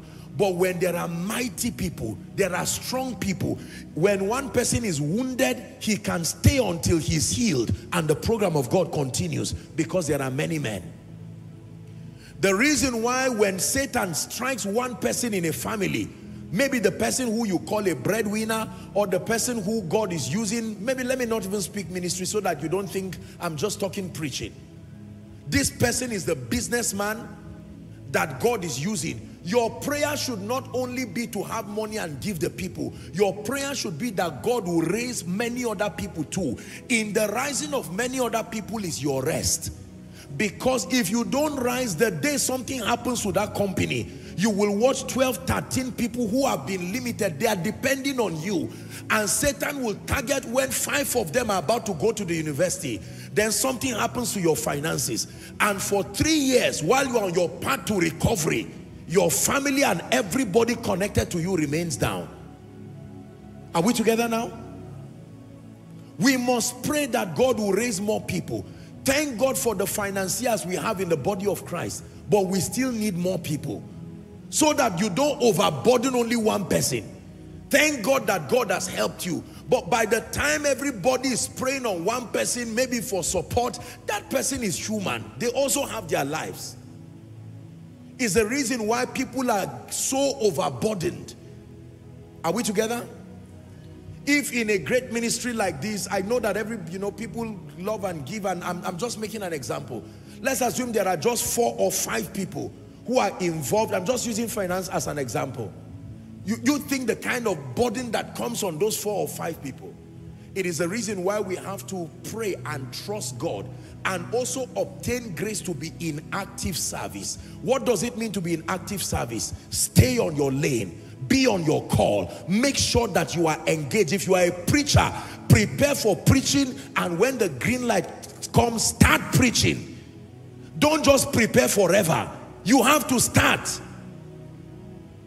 Are we together? You are a businessman. You can't be planning forever. A day has to come, you will start. Many people are planning forever. Active service. Active service. Have you tried to rush to use a restroom or to use an ATM or to use something and you see a statement there, out of service? It is there, but it is useless as far as purpose is concerned. If an ATM is written out of service, it will be insanity to still stand there. No. Except if they motivate you and say it will be resuming shortly. Aha, then you can be motivated. There are many of us, even though we are alive, but in the spirit there is a statement on our head, out of service, out of kingdom service. In other words, when favor is coming, there's no need it should come to you. You are out of service. Are we together? If help is coming, there's no need it comes to your family. You are out of service. I'm yours. Jesus, I'm yours forevermore. I'm yours. Jesus, I'm yours forevermore. Wherever you want to go, Lord, you can go through me. Whatever you want to say, Lord, you can say through me. Whoever you want to lift, Lord, you can lift through me. Very powerful prayer. The labor of active service. I live a very busy life, but my joy is that I'm serving the King. That in my lifetime, I will spend and be spent for His Majesty. Spend and be spent for His Majesty. Active service. Don't just say, I will serve you. Serve Him. Don't just say, I will serve you. Serve Him. Serve Him in whatever capacity God is calling you to ministry, go ahead and be serious with your training. And as the green light comes, obtain grace. Serve him. Someone's destiny is dependent on your service. He's called you to an, be an intercessor. Serve him. Provision is for those who are serving. Honor is for those who are serving. Favor is for those who are serving, not those who want to serve, not those who are talking about service. I shall not die, but live and declare, not intend to declare. For as long as I'm alive, someone will hear about Jesus. For as long as I'm alive, somebody sick will be healed. For as long as I'm alive, one oppressed person will have his destiny rewritten. For as long as I'm alive, consistently the word of God will come through me, making, building, mentoring, maturing. For as long as I'm alive, I will continue to receive these graces and be an endless conduit of these possibilities. For as long as I'm alive, it is my commitment. It is a richer, wiser, and fuller way to live. There are many of us who are living as if we're already dead. We're empty already. There is no cause in your life that is the reason why you go to bed. There is no cause in your life that is the reason why you wake up. It is a very bad way to live. Purpose heals. A sense of purpose, it gives you something to do. Hallelujah.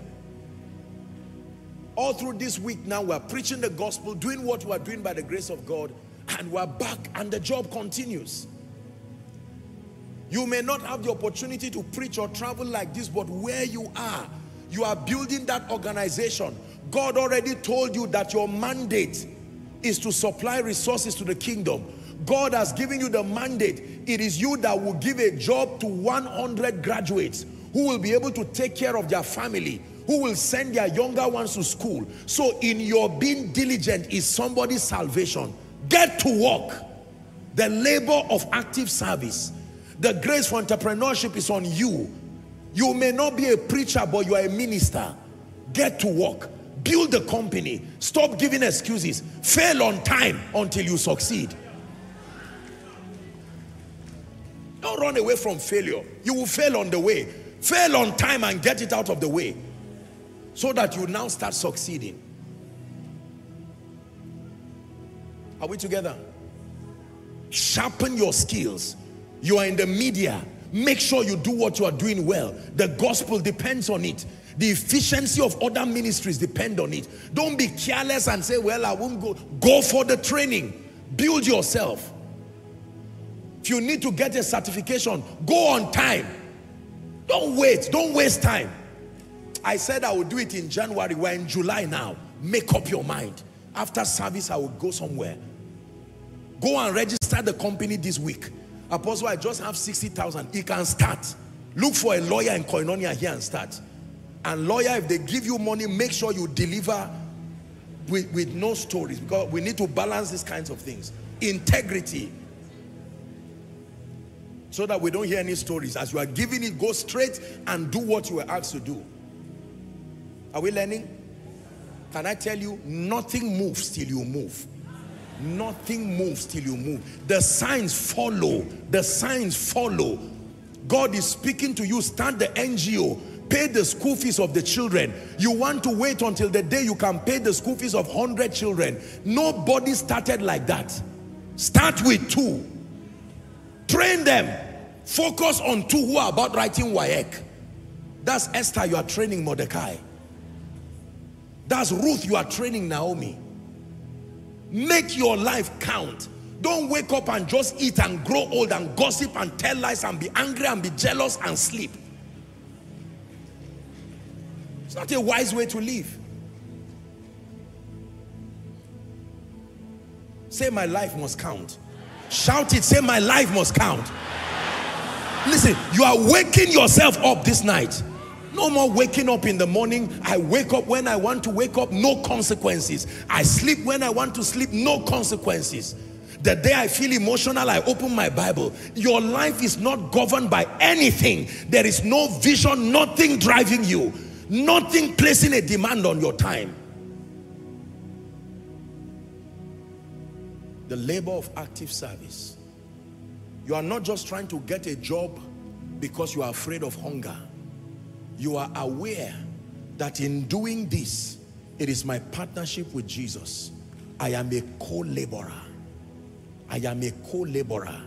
If I become a media expert today and I help 20 churches to be effective in their media ministry, that is my assignment. Because of that, if I need to go to America for a three-month program, if I need to go to US for a three-month program, to Canada for a three-month program, don't say I don't have the money. Go and browse what institution you will go first. Nothing moves till you move. Are you hearing what I'm saying now? Someone is saying, Apostle, my mind is America. There's a place in Abuja here. You can do a one-week training. Start from there. You shall be witnesses in Jerusalem. Jerusalem.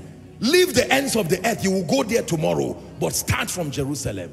There are many people who want to start from the ends of the earth and go where after that. There is no joy to the journey again. You start from Jerusalem. Are we together? Then Judea, then Samaria. You also enjoy the process of growth. But by the time you start from the ends of the earth, where else are you going to go to? I've taught you here, don't hurry seasons. There is a joy that comes with growth. Be fast, but not excessively fast. Enjoy the process of knowing God and serving Him as you grow. Go slow enough to study your growth and mentor others. When your whole tomorrow enters your today, there will not be joy in living again.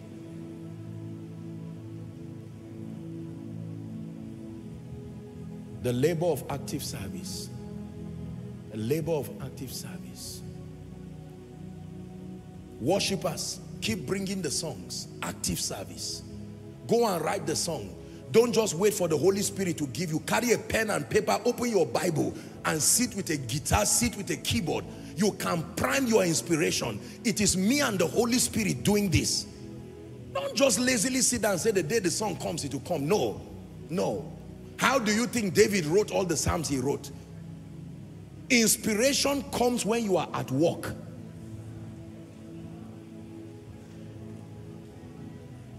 Are we together? I hope you are learning the labor of active service. First Timothy 5:18. Let's hurry up. First Timothy chapter 5 and verse 18. First Timothy 5:18. For the scripture saith, Thou shalt not muzzle the ox that treaded upon the corn. And then it says, The laborer. Who is worthy of wages? Not the hungry, the laborer. You have to be a laborer to be worthy of wages. Are you seeing why many people are not receiving the wages? Because they are not laborers. I tell you the truth. When we walk, we walk because we love God, but we also walk because we are laborers. There are consolations to this work. There are consolations to this work. Are we together? As a laborer in God's vineyard, let me tell you, there are some things God will never allow you to look for again if you become a true laborer. You don't know the profit in serving God. We don't serve God for money, for cars, and for things. But there is a way a man can serve God. And God will say, because you have served me like this, you will not serve any other thing else. My jealousy will forbid you from following that regular routine towards making life happen. I know what I'm saying. And you don't have to be a preacher. Someone can serve God in a way that God will say, Mama, because you serve me, the least of your children will be a president. That I will never allow mediocrity dwell in this family again. It is a covenant. You have made room for me. When the woman in Shunem made room for the prophet, she was not looking for anything. It was sincere honor without string attached. But the prophet said, no, God does not work like this. You cannot be that kind to me providing a table. What do you want? Should I talk to the, the, the, the, president, the governor for you? Say, no, I live among my own people. And then the servant now whispered and said, this woman is without child. And he said, according to the time of life. And that was it. The woman didn't even say amen. She didn't say, be it unto me according to your word. He just said, you will embrace a son.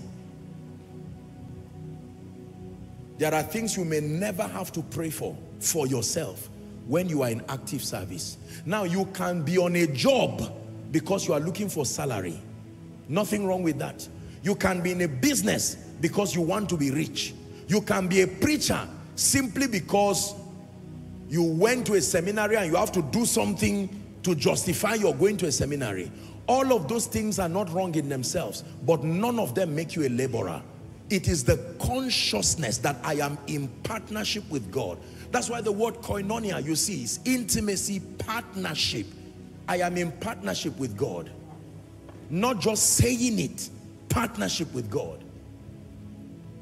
Hallelujah. I never travel alone. I never do the things that I do alone. No, I can fail as a person, but me and God cannot fail together.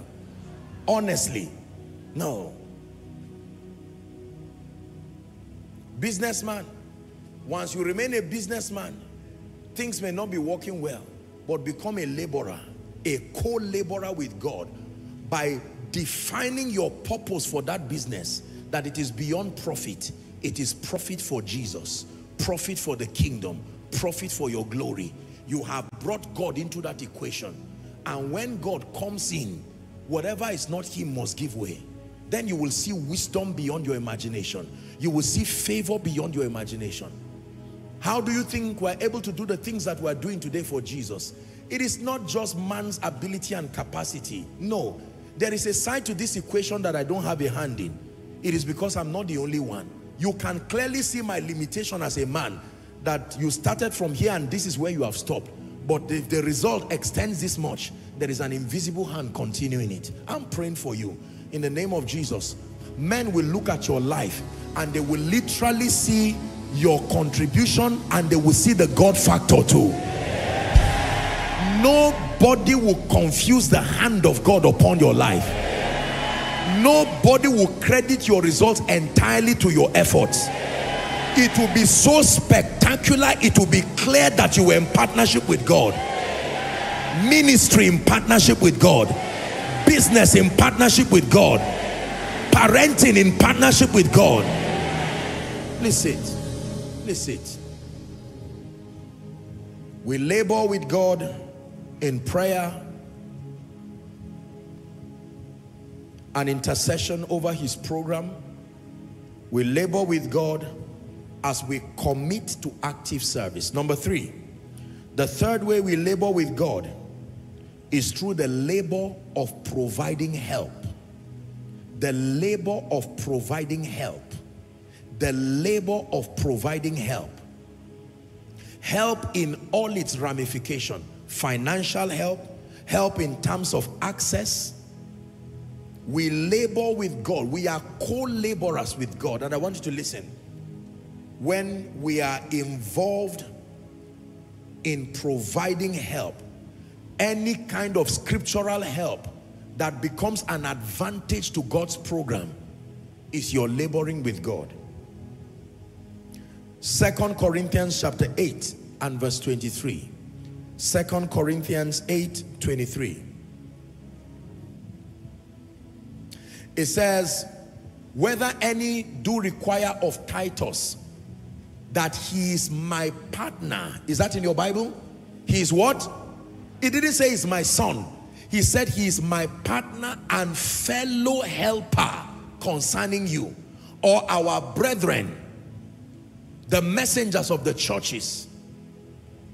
He called Titus his partner and fellow helper.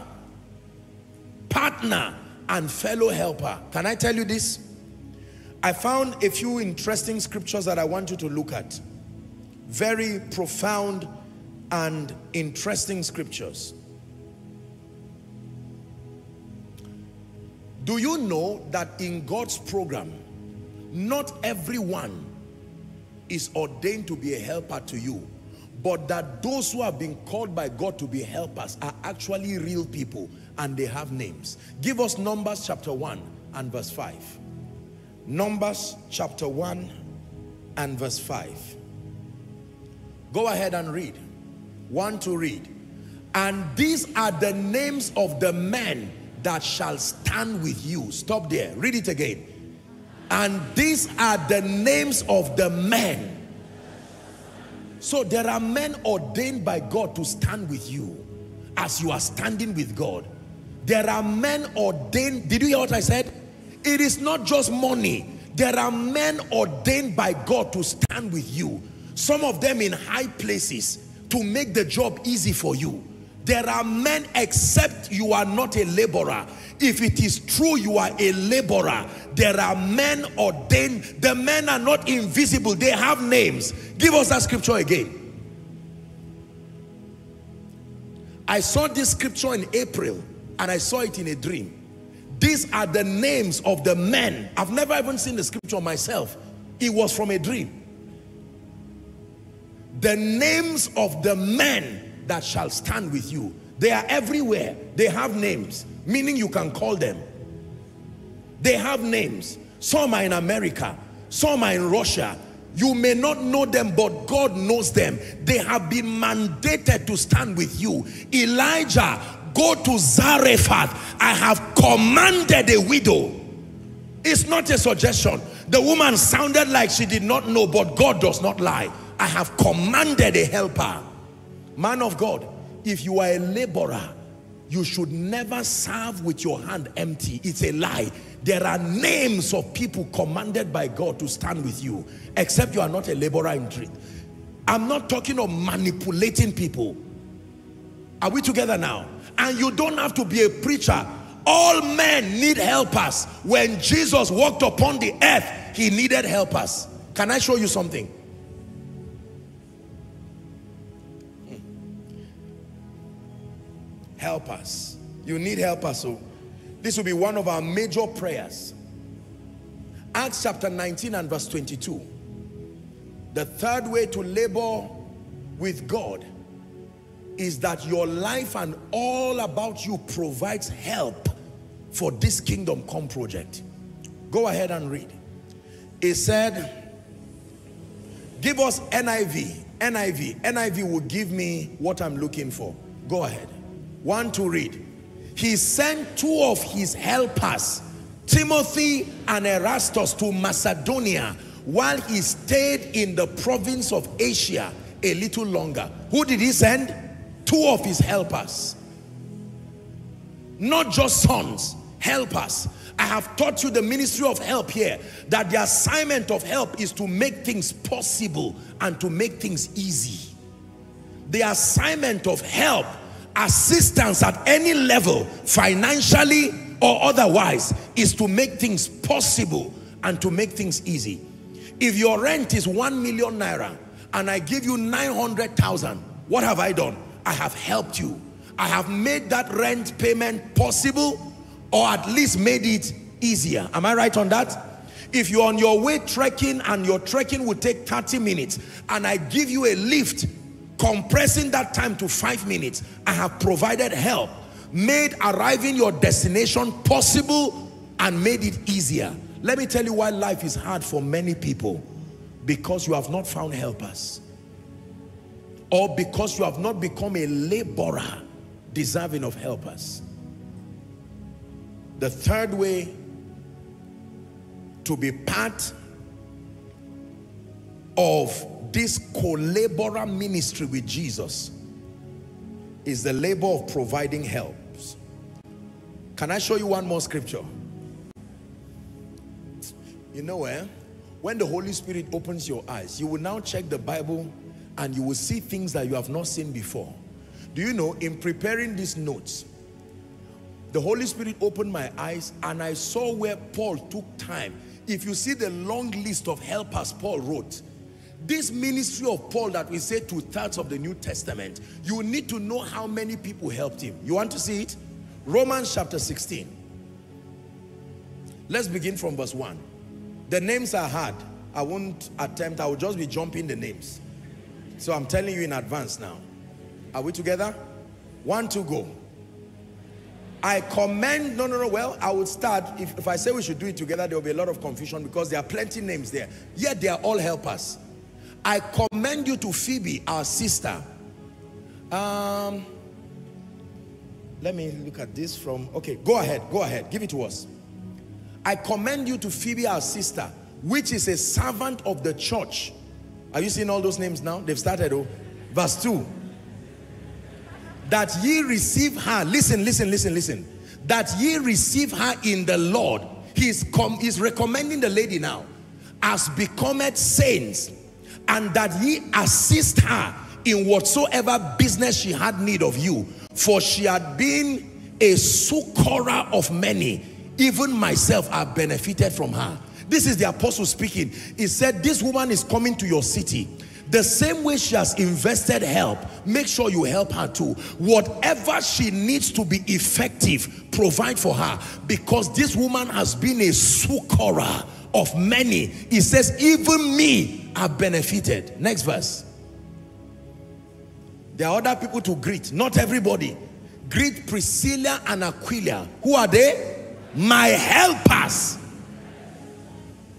Feel free to greet anyone you meet on the road, but from me, greet Priscilla and Aquila. Why? Because they are helpers in Christ Jesus.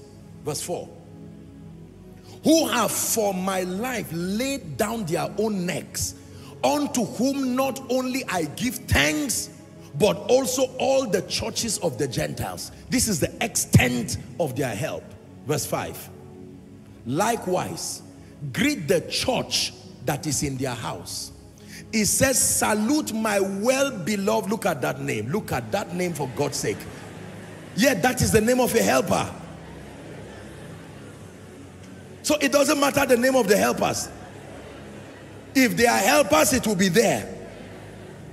Who is the first fruit of Achaia unto Christ? Verse 6. Greet Mary, who bestowed much labor on us. Are you seeing all the people he's greeting? Let's just stop at verse 6. You can read down.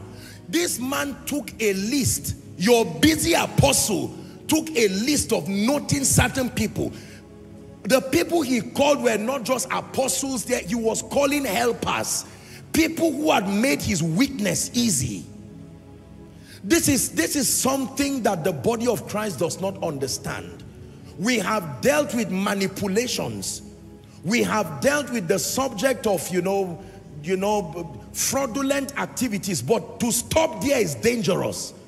The church must be educated to know that being a co-laborer with God means that you must stand to make his work easy in every ramification. Let me tell you sincerely, and I submit to you with all humility. I have seen pastors and I've seen people who love Jesus Christ with all their hearts. And some of them have seen their lives and their living conditions. And it's a very terrible thing. I've seen their wives, I've seen their children, and sometimes you are wondering, the people that they labor over, is it that the people are not thoughtful to know that I have a God-ordained assignment? You see, let me teach you something, dear people, and, and, and it's very uncomfortable for me, but I have to teach you because it's the truth.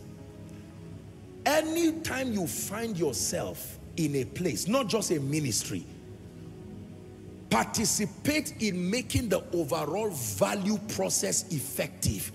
Do not just be a bench warmer. Make sure your seed, your goodwill, your prayer, if you have influence and it can become a leverage. Are we together? The ministry of helps is not just limited to finances. That everything within your power and I bless God for great people in this ministry and in my life who have played these strategic roles. They have made the service of God easy. Several things. Right now there's the US team, Canada team. We're not there yet, but they are helpers, laboring day and night, making things happen. There are people who have given and given and given again. Helpers. The Bible talks about Uzziah. I think that should be Second Chronicles chapter 26 and verse 15 if I recall. That Uzziah prospered because he was marvelously helped of God. It is on the strength of help that people go forward. Second Chronicles, I believe, 26 and verse 15. Prospered because he was marvelously helped. That he was helped until he made progress. Marvelously helped and his fame, his name spread far abroad, for he was marvelously helped till he became strong. You never become strong until you are helped. Helped in business, helped in ministry. Are we together? There are some of you here, and, and I want to listen to me. Your one naira, your one dollar has never gone into the project of kingdom come. I'm teaching you this as a responsibility. It is a very bad attitude. Now, you don't have to, but if you love Jesus and you are trained to be a responsible believer, you learn this. No kingdom program should happen within a ministry, within a life, within a vessel you are part of. As an individual, I have seeds that I've sown for Sound of Revival, US, Canada. Are we together? UK. I have seats that are prepared for our November conference coming. It does not matter that I'm a man of God. It does not matter that I lead this ministry. Obedience is obedience. Disobedience is disobedience. Kingdom principles are kingdom principles. Beyond a man of God, I'm a co-laborer with God. This is the reason why you see God continues to do the things that he's doing. Helps having obtained help from God, I continue this day. It takes help to continue. Are we together now? Yes. Sometimes, honestly, and I'm saying this not, not to spite you, I love you with all my heart, but sometimes I sit down and I think to myself, if I was depending on men for tea and bread,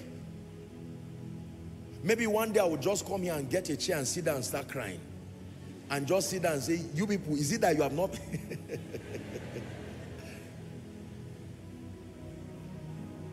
You are givers, don't worry. I know you are givers. All right? God is helping you, but I'm teaching you the truth is still the truth. And some of you have money, which, is, which makes it worse.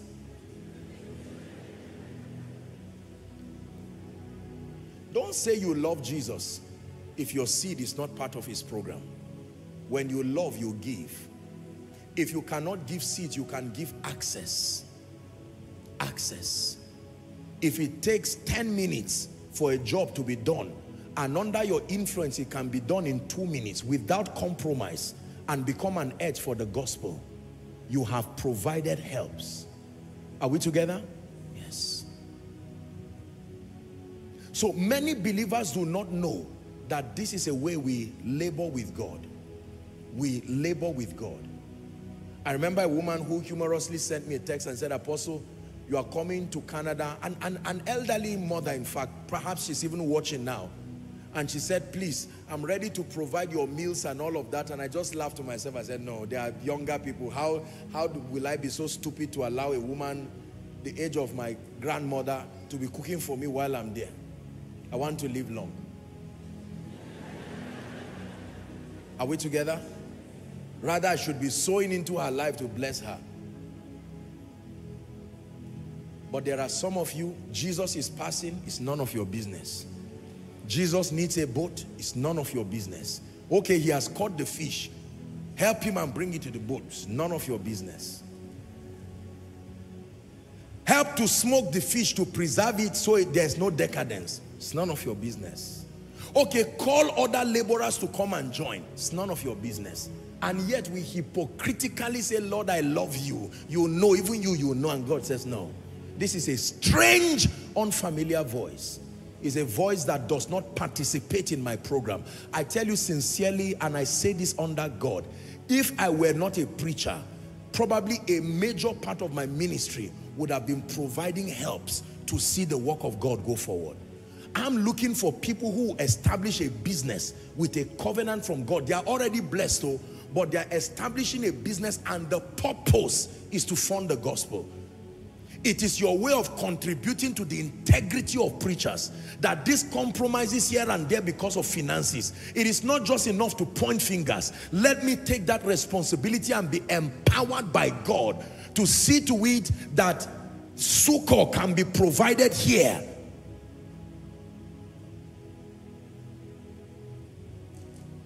For as long as I live, every effort I can make financially, using the bit of influence and access God has given that can make the program of God advance, I will not spare in giving my best. I have written it in songs. They have become my contemplations and my meditations. And this is my pledge unto God. If I can help somebody go to school as a way of providing more room for laborers to come, I will do that. If I can help somebody to be healthier than he or she is, if I can encourage a man of God who is discouraged, and that can help him to stand strong in integrity, I will do it. Listen, don't just profess and shout, I love you, Jesus. No. And please, by this talk, don't allow any pressure. I'm not putting pressure on your finances at all. But it's important to learn this.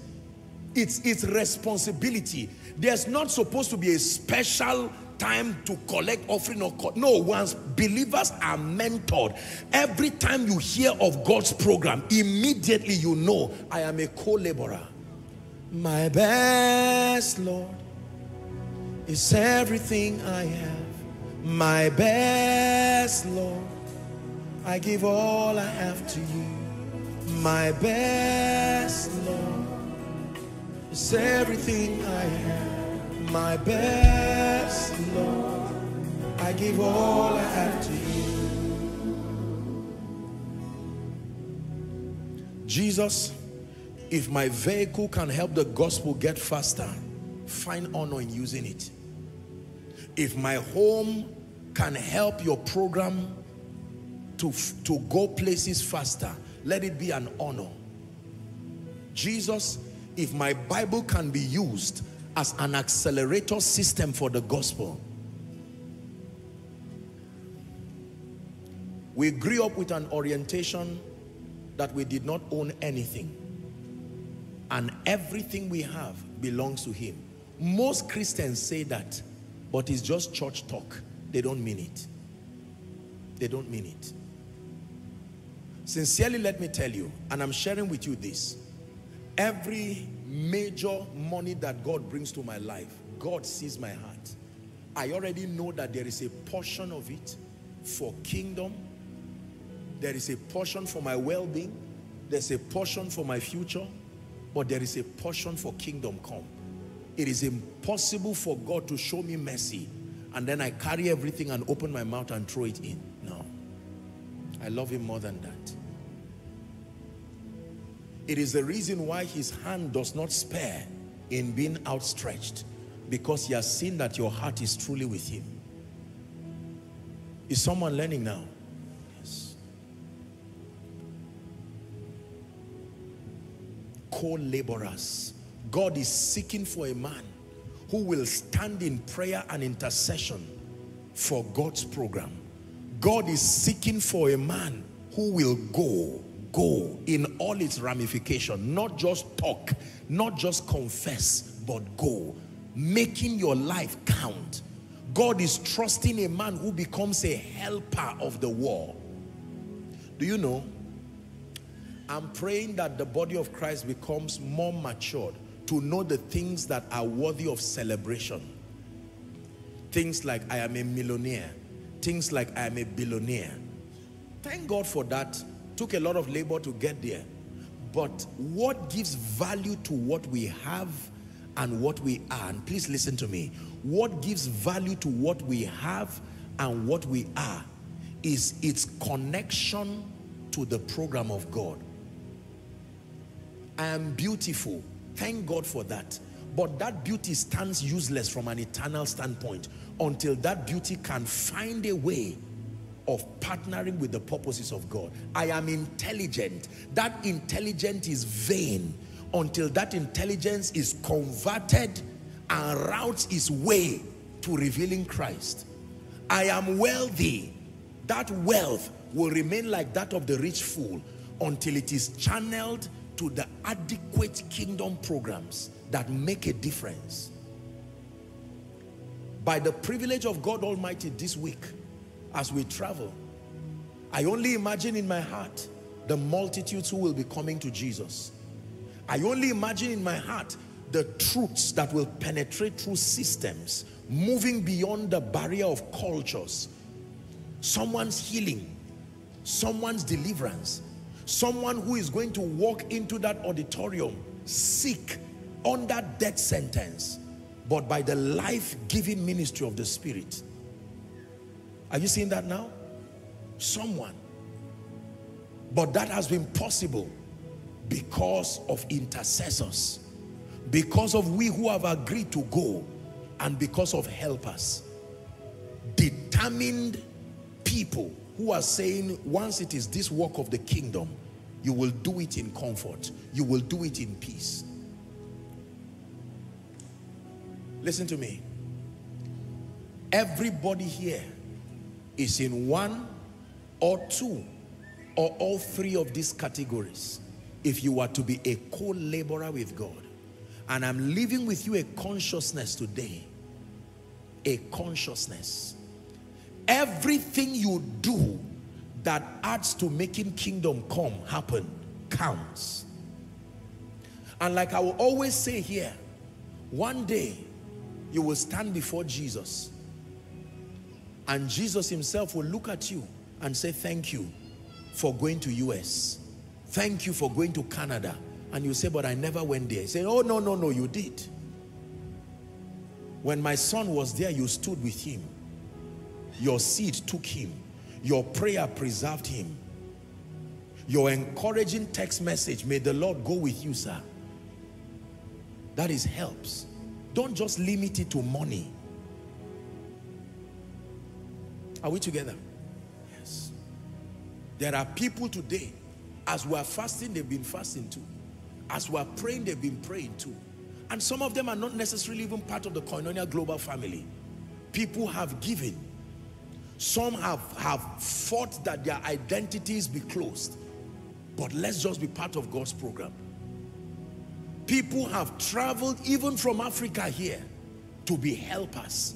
Let me teach you something, believers. God is seeking for men, but not all kinds of men. The assignment of this teaching tonight is to help you become the kind of man that God will find. The kind of man that God will say, finally, I have found a vessel. A vessel that I can trust to pray my program down. That you can take a man of God as your intercessory project. You can take a church as your intercessory project. You can take the program of God as an intercessory project. And we may not even know you, but you are on your knees before the Father. Lord, let the gospel find its cause. Grant utterance, grant accuracy as they teach. Back up your word with signs and wonders following. And whilst you are doing that in the quietness of your room, heaven is watching you. And in heaven's mind, with everyone going to the crusade ground, you are there too. And as the souls come out, it is also credited to you in heaven. You are also a soul winner. You are also a destiny changer. But you are asking, I was not there to lead the prayer, but your prayer made it work.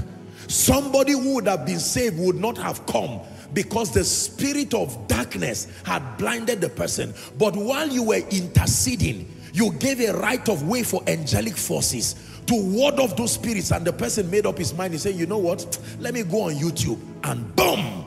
That was the message the person had. How about the person who has invited others? Be part of this. This is not just for likes and follows. Your destiny is about to change.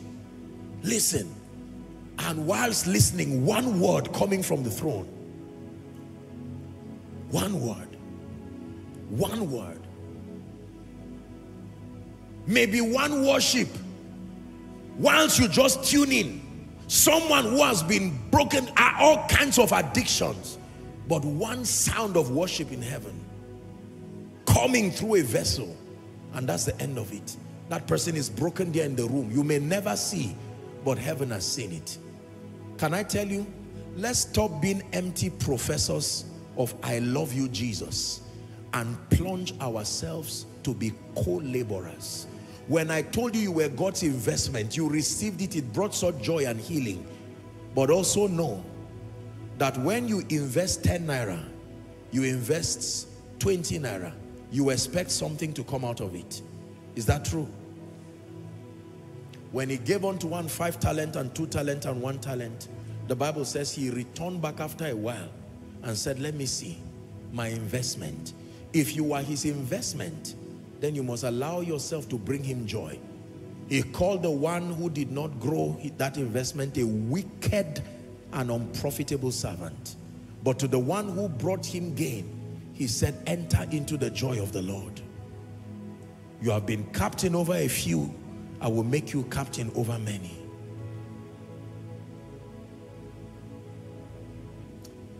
It is my prayer that as we do the things that we do for the kingdom as an individual and as a ministry, we will be able to make our contribution in bringing the harvest this is what it's all about. In helping to disciple nations to take the power of Jesus. Like I would always say it, our fathers who have joined the cloud of witnesses, they've done their own. There was a time they were young like us too. They had the energy. You watch their videos today and you are saying, this man who sounds quiet was this vibrant. I watched one of um, Daddy Joe's, I think uh, 1991 was it 1991 or so? One of the videos. And you could see I mean not youthfulness really was still not younger then but I mean you can imagine. Take joy my king in what you hear. Let it be a sweet sweet sound in your ear Take joy, my King, in what you see and let it be a sweet, sweet sound.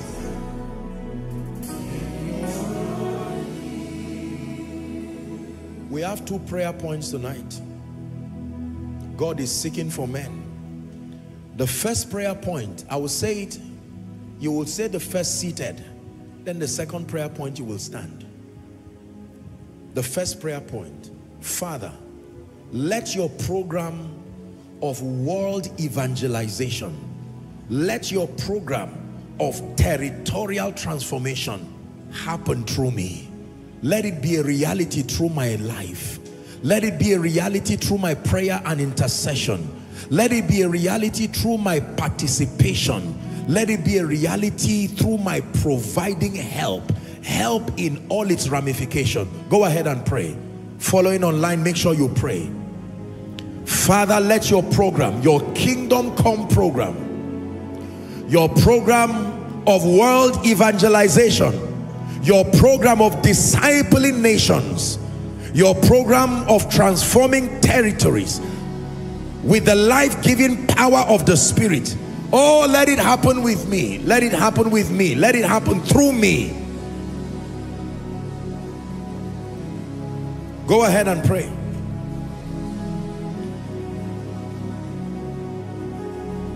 Go ahead and pray. Go ahead and pray. I sing praises to your name.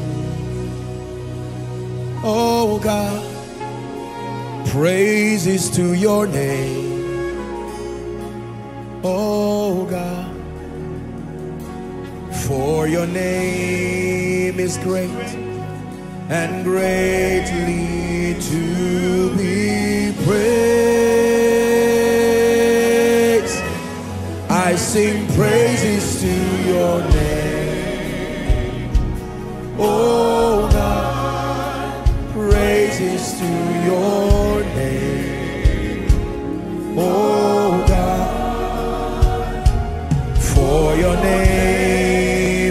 great and greatly to be praised. Hallelujah. So you are praying that the world missions, global evangelization, bringing the lost, the unsaved to the fold, discipling nations with the life-giving truths, bringing the healing power of Jesus to the nations, setting the captives free, and then transforming territories by altering the beliefs of men, helping them to live meaningful lives with dignity and honor.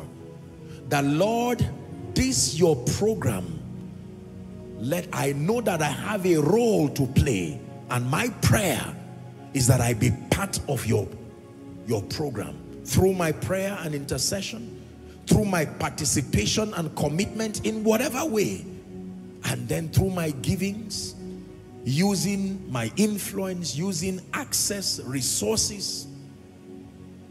It's a very powerful prayer. When you get back home, I want you to still pray it again. Pray it. Pray it. Pray it. The final prayer. Now you stand.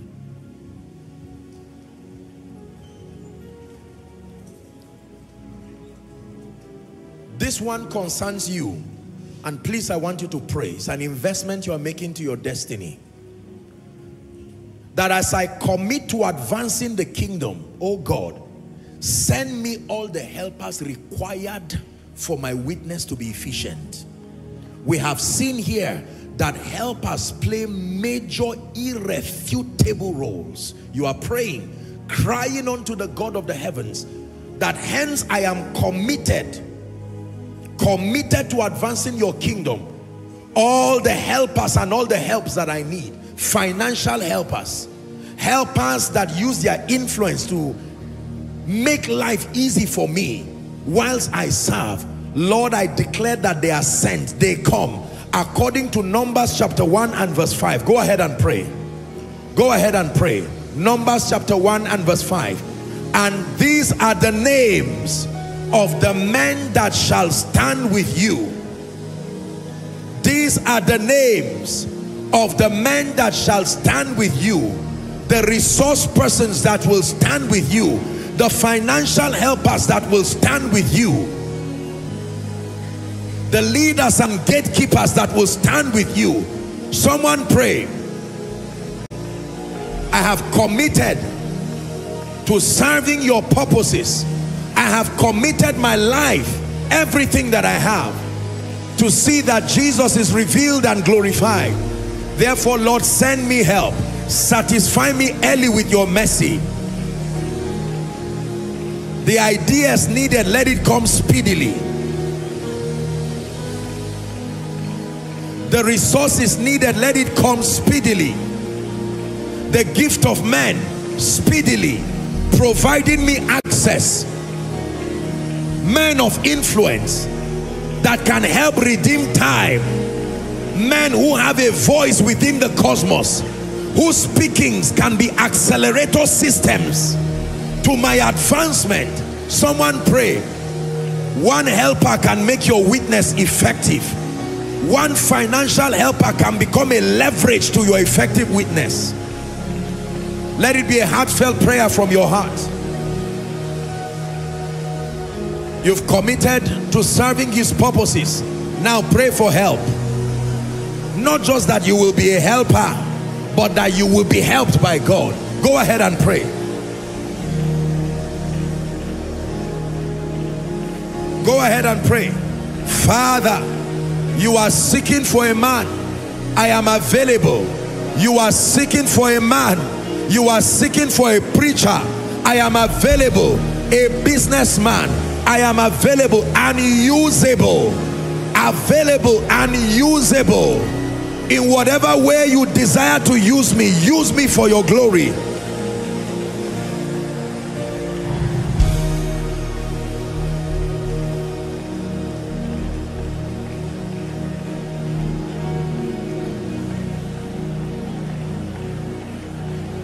Everything I have belongs to you. Go ahead and pray.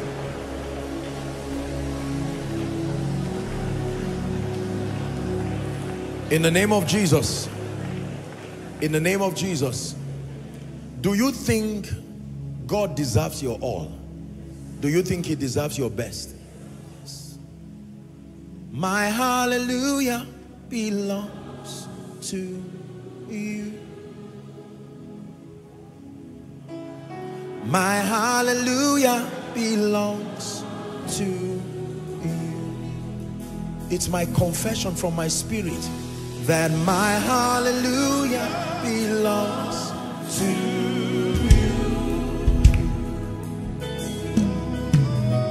My hallelujah belongs to you. Can you sing? You deserve it. Hey, you deserve it.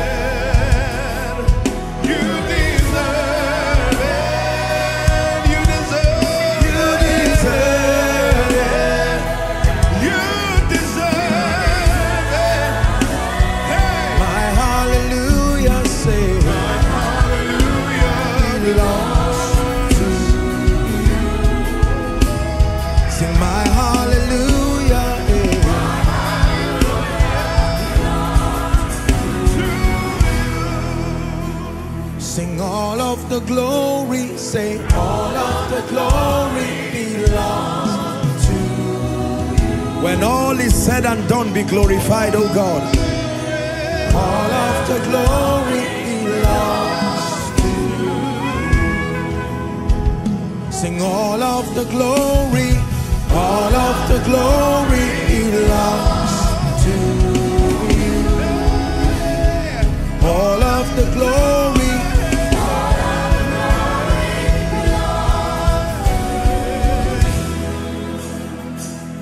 with someone by your left and right. Let's pray for the sound of revival. US, the sound of revival, Canada. That this week we have prayed, but let's pray again. Sow that seed. We're praying as a global family. Go ahead. As far as your hand can reach, you're holding hands and together we're praying. In the name of Jesus Christ, let there be a rain of salvation. Let there be a rain of healing. Let there be a rain of deliverance let your word come with power. let the gospel be ministered with clarity and precision. Oh let a harvest come to Jesus. Let a harvest come. A mighty harvest. Let nations be discipled learning the ways of the spirit. Go ahead and pray. Go ahead and pray. You are sowing that seed as an intercessor. In the name of Jesus you are sowing that seed. Signs and wonders be wrought in the name of your holy son. Go ahead.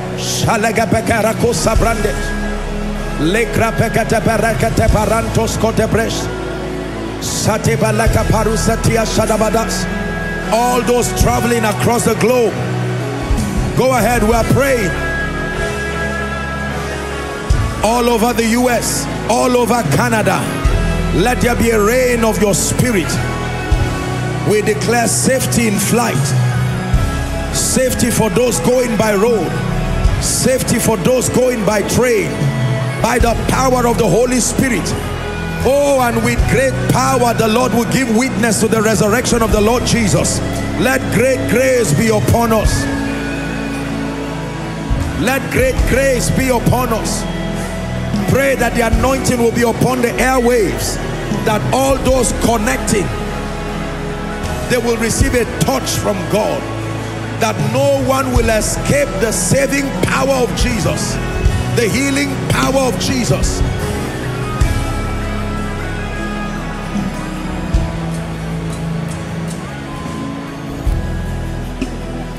Hallelujah. Keep your hands together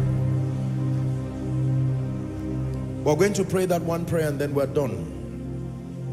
We're a responsible family. I'm not just traveling for a conference. We are going as a family in the name of the Lord. Make sure that all through you participate. Call your loved ones. You will be surprised that something you did not receive here you will receive during the conference. It is not a US conference. It is only happening in the US. It is not a Canada conference. It's only happening in Canada. It is God reaching the nations. Hallelujah. Praise the name of the Lord. I want to sing this song just once and then we're done. Let the weight of your glory fall. I'm not sure. Can you take it? I don't want to shout. Let the weight of your glory fall. Let it cover all Let the weight of your glory fall. That's our prayer. Let it cover all the earth. Let it cover all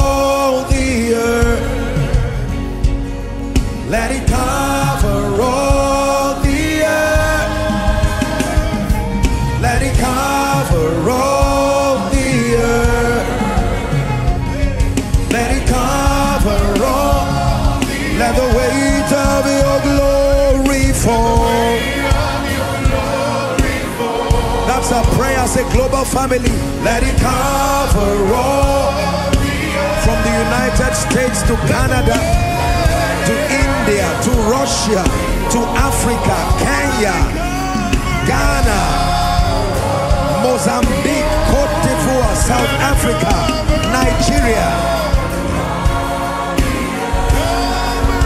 Let your glory blanket the entire globe.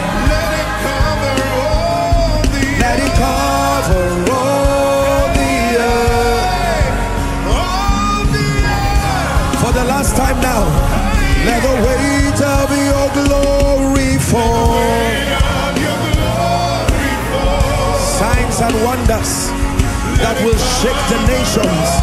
The revelation of Jesus that will enthrone him in the hearts of men. Grace, grace abundant, grace multiplied, grace abundant, grace multiplied.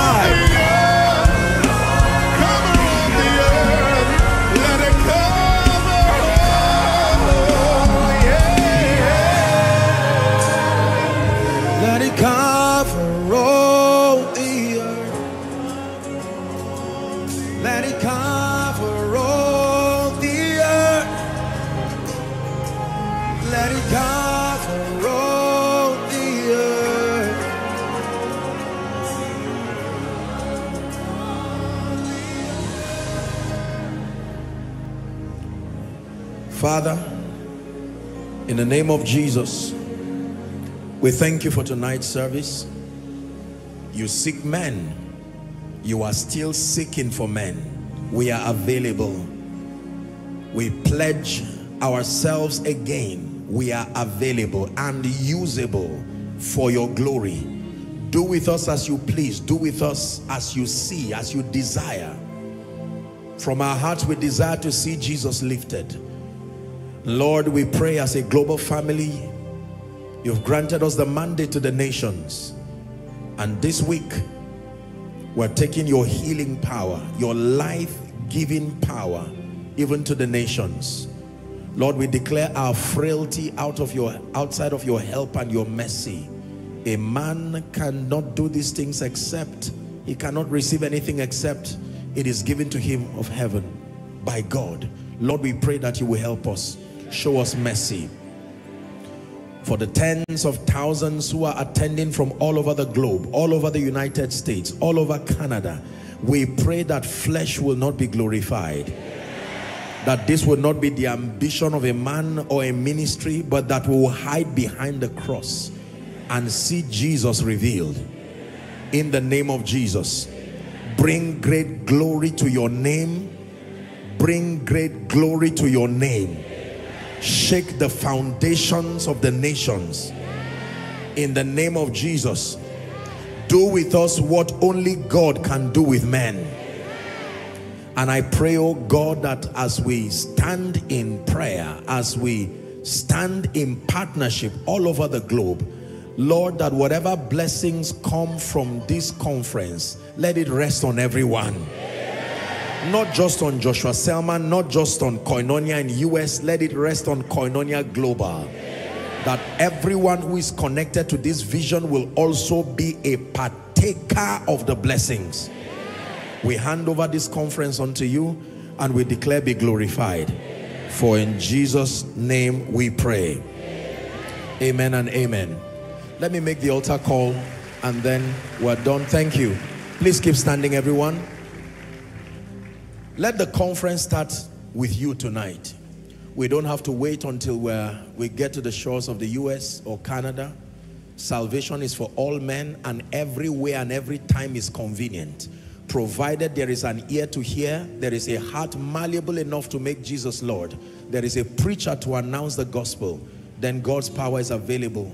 For someone, you don't have to wait until the conference begins. Today is your day of salvation. God is looking for men. He's looking for those who will trust him enough to be recipients of his life. I'm going to count one to five. Thank you very much, my brother, for being bold to come wherever you are, I want you to take your bags, your Bibles, run and come and stand here.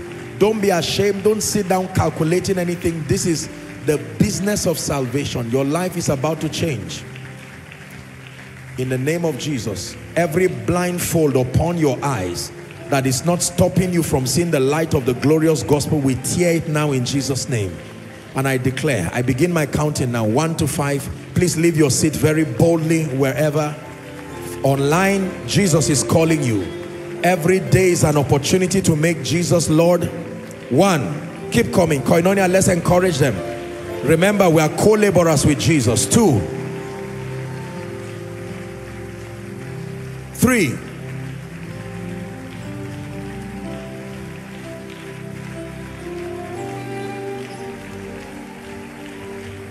come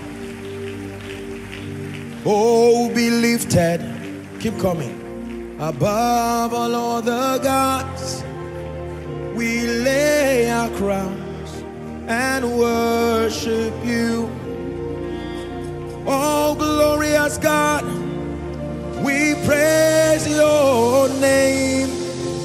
We lay our crowns Are you coming to Jesus? Oh, glorious God. We praise your name. We lay our crowns.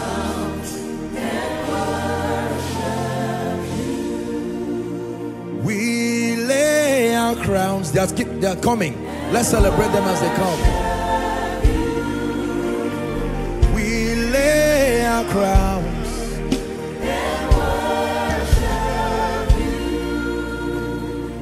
Thank you, Jesus.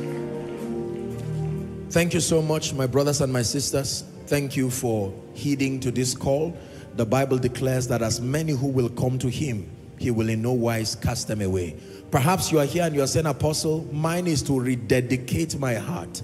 I know that my ways are not right with God, even though I remember making this decision. Is there room for me? Let me give you a few seconds to join them. You belong to that second category very quickly. Very quickly.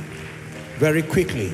If you're joining them, walk very fast Walk very fast and join them and we say the prayer together. I desire to rededicate my life to Jesus. No playing games. I want to start afresh. Decided to follow him wholly. God bless you. Thank you. God bless you. God bless you. Hallelujah. Praise the name of the Lord. Now before I pray, the salvation prayer with them just to let us know that all of the conferences would be broadcast live on all our social media platforms. Yeah, so we have three sessions for US. US starts on Wednesday the 17th. So Wednesday um, the 17th is going to be midnight, unfortunately. It starts 5. 5 will be about 10 or 11 African time. Nigeria particularly. Um, so be awake and trust God. Clear your calendar, be awake. Make sure you gather your family together. Follow is 5 p.m. And then the morning we have um, 9 a.m. the morning session on Thursday.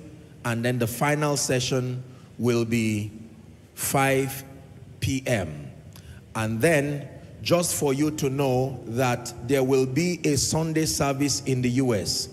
There will be, help this woman under the anointing, there will be a Sunday service in the U.S. exactly koinonia time.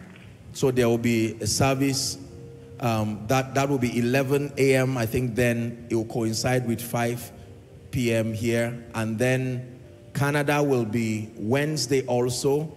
Wednesday, um, the 24th, same um, timing, evening, morning session, final session, and then we're on our way um, back. So pray for us and let's trust God for a great experience. Don't wait to be told.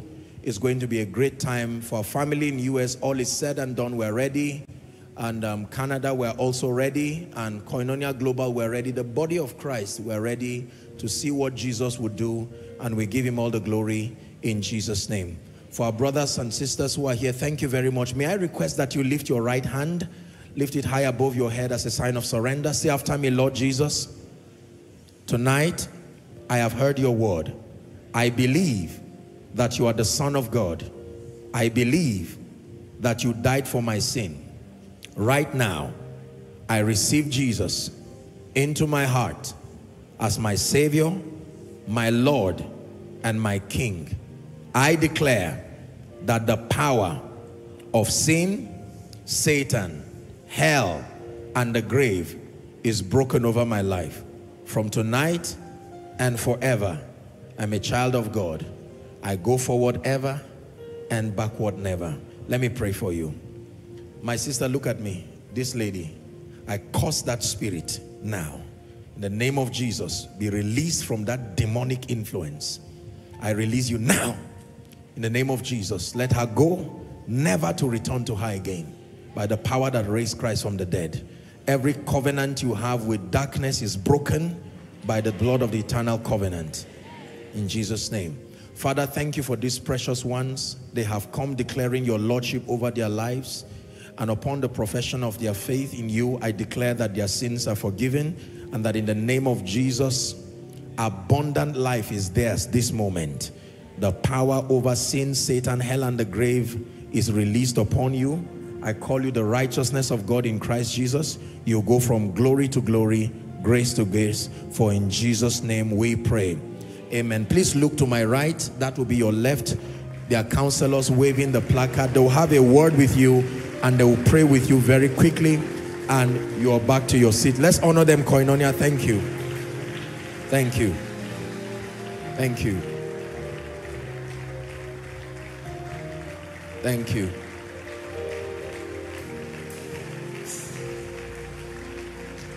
Amen. Hallelujah. Praise the name of the Lord. Amen. Let me speak the blessing over you. We're done. In the name of Jesus, let this be a week of glory for you. Shout a believing amen. Everything God has ordained for you this week, in the name of Jesus, the week will not end until every one of those blessings appear. If it is help, let it appear. If it's prosperity, let it appear. If it's restoration, let it appear. If it's wisdom, let it appear. If it's a miracle job, let it appear. In the name of Jesus. Whatever needs to happen this week to move you forward, that you will make constructive progress in your life, your destiny, and also in advancing God's program. I agree with you, may it happen speedily. This week I declare over you that no weapon fashioned against you will prosper and that every tongue that rises up against you will fall in judgment. You have no business with death this week. Your loved ones are supernaturally protected. I speak abundance to your life. I speak favor to your life. Your love for Jesus is waxing hotter and hotter. You will see results this week. Supernatural testimonies this week. On Sunday, you will be the first to stand and testify. In the name of Jesus Christ, we pray. God bless you together. Let's share the grace in fellowship. The grace of our Lord Jesus Christ, the love of God, the sweet fellowship of the Holy Spirit, rest and abide with us now and forevermore. Amen. Surely, God's goodness and mercies follow us all the days of our lives as we dwell in the house of the Lord forever and ever. Amen. God bless you. See you on Sunday.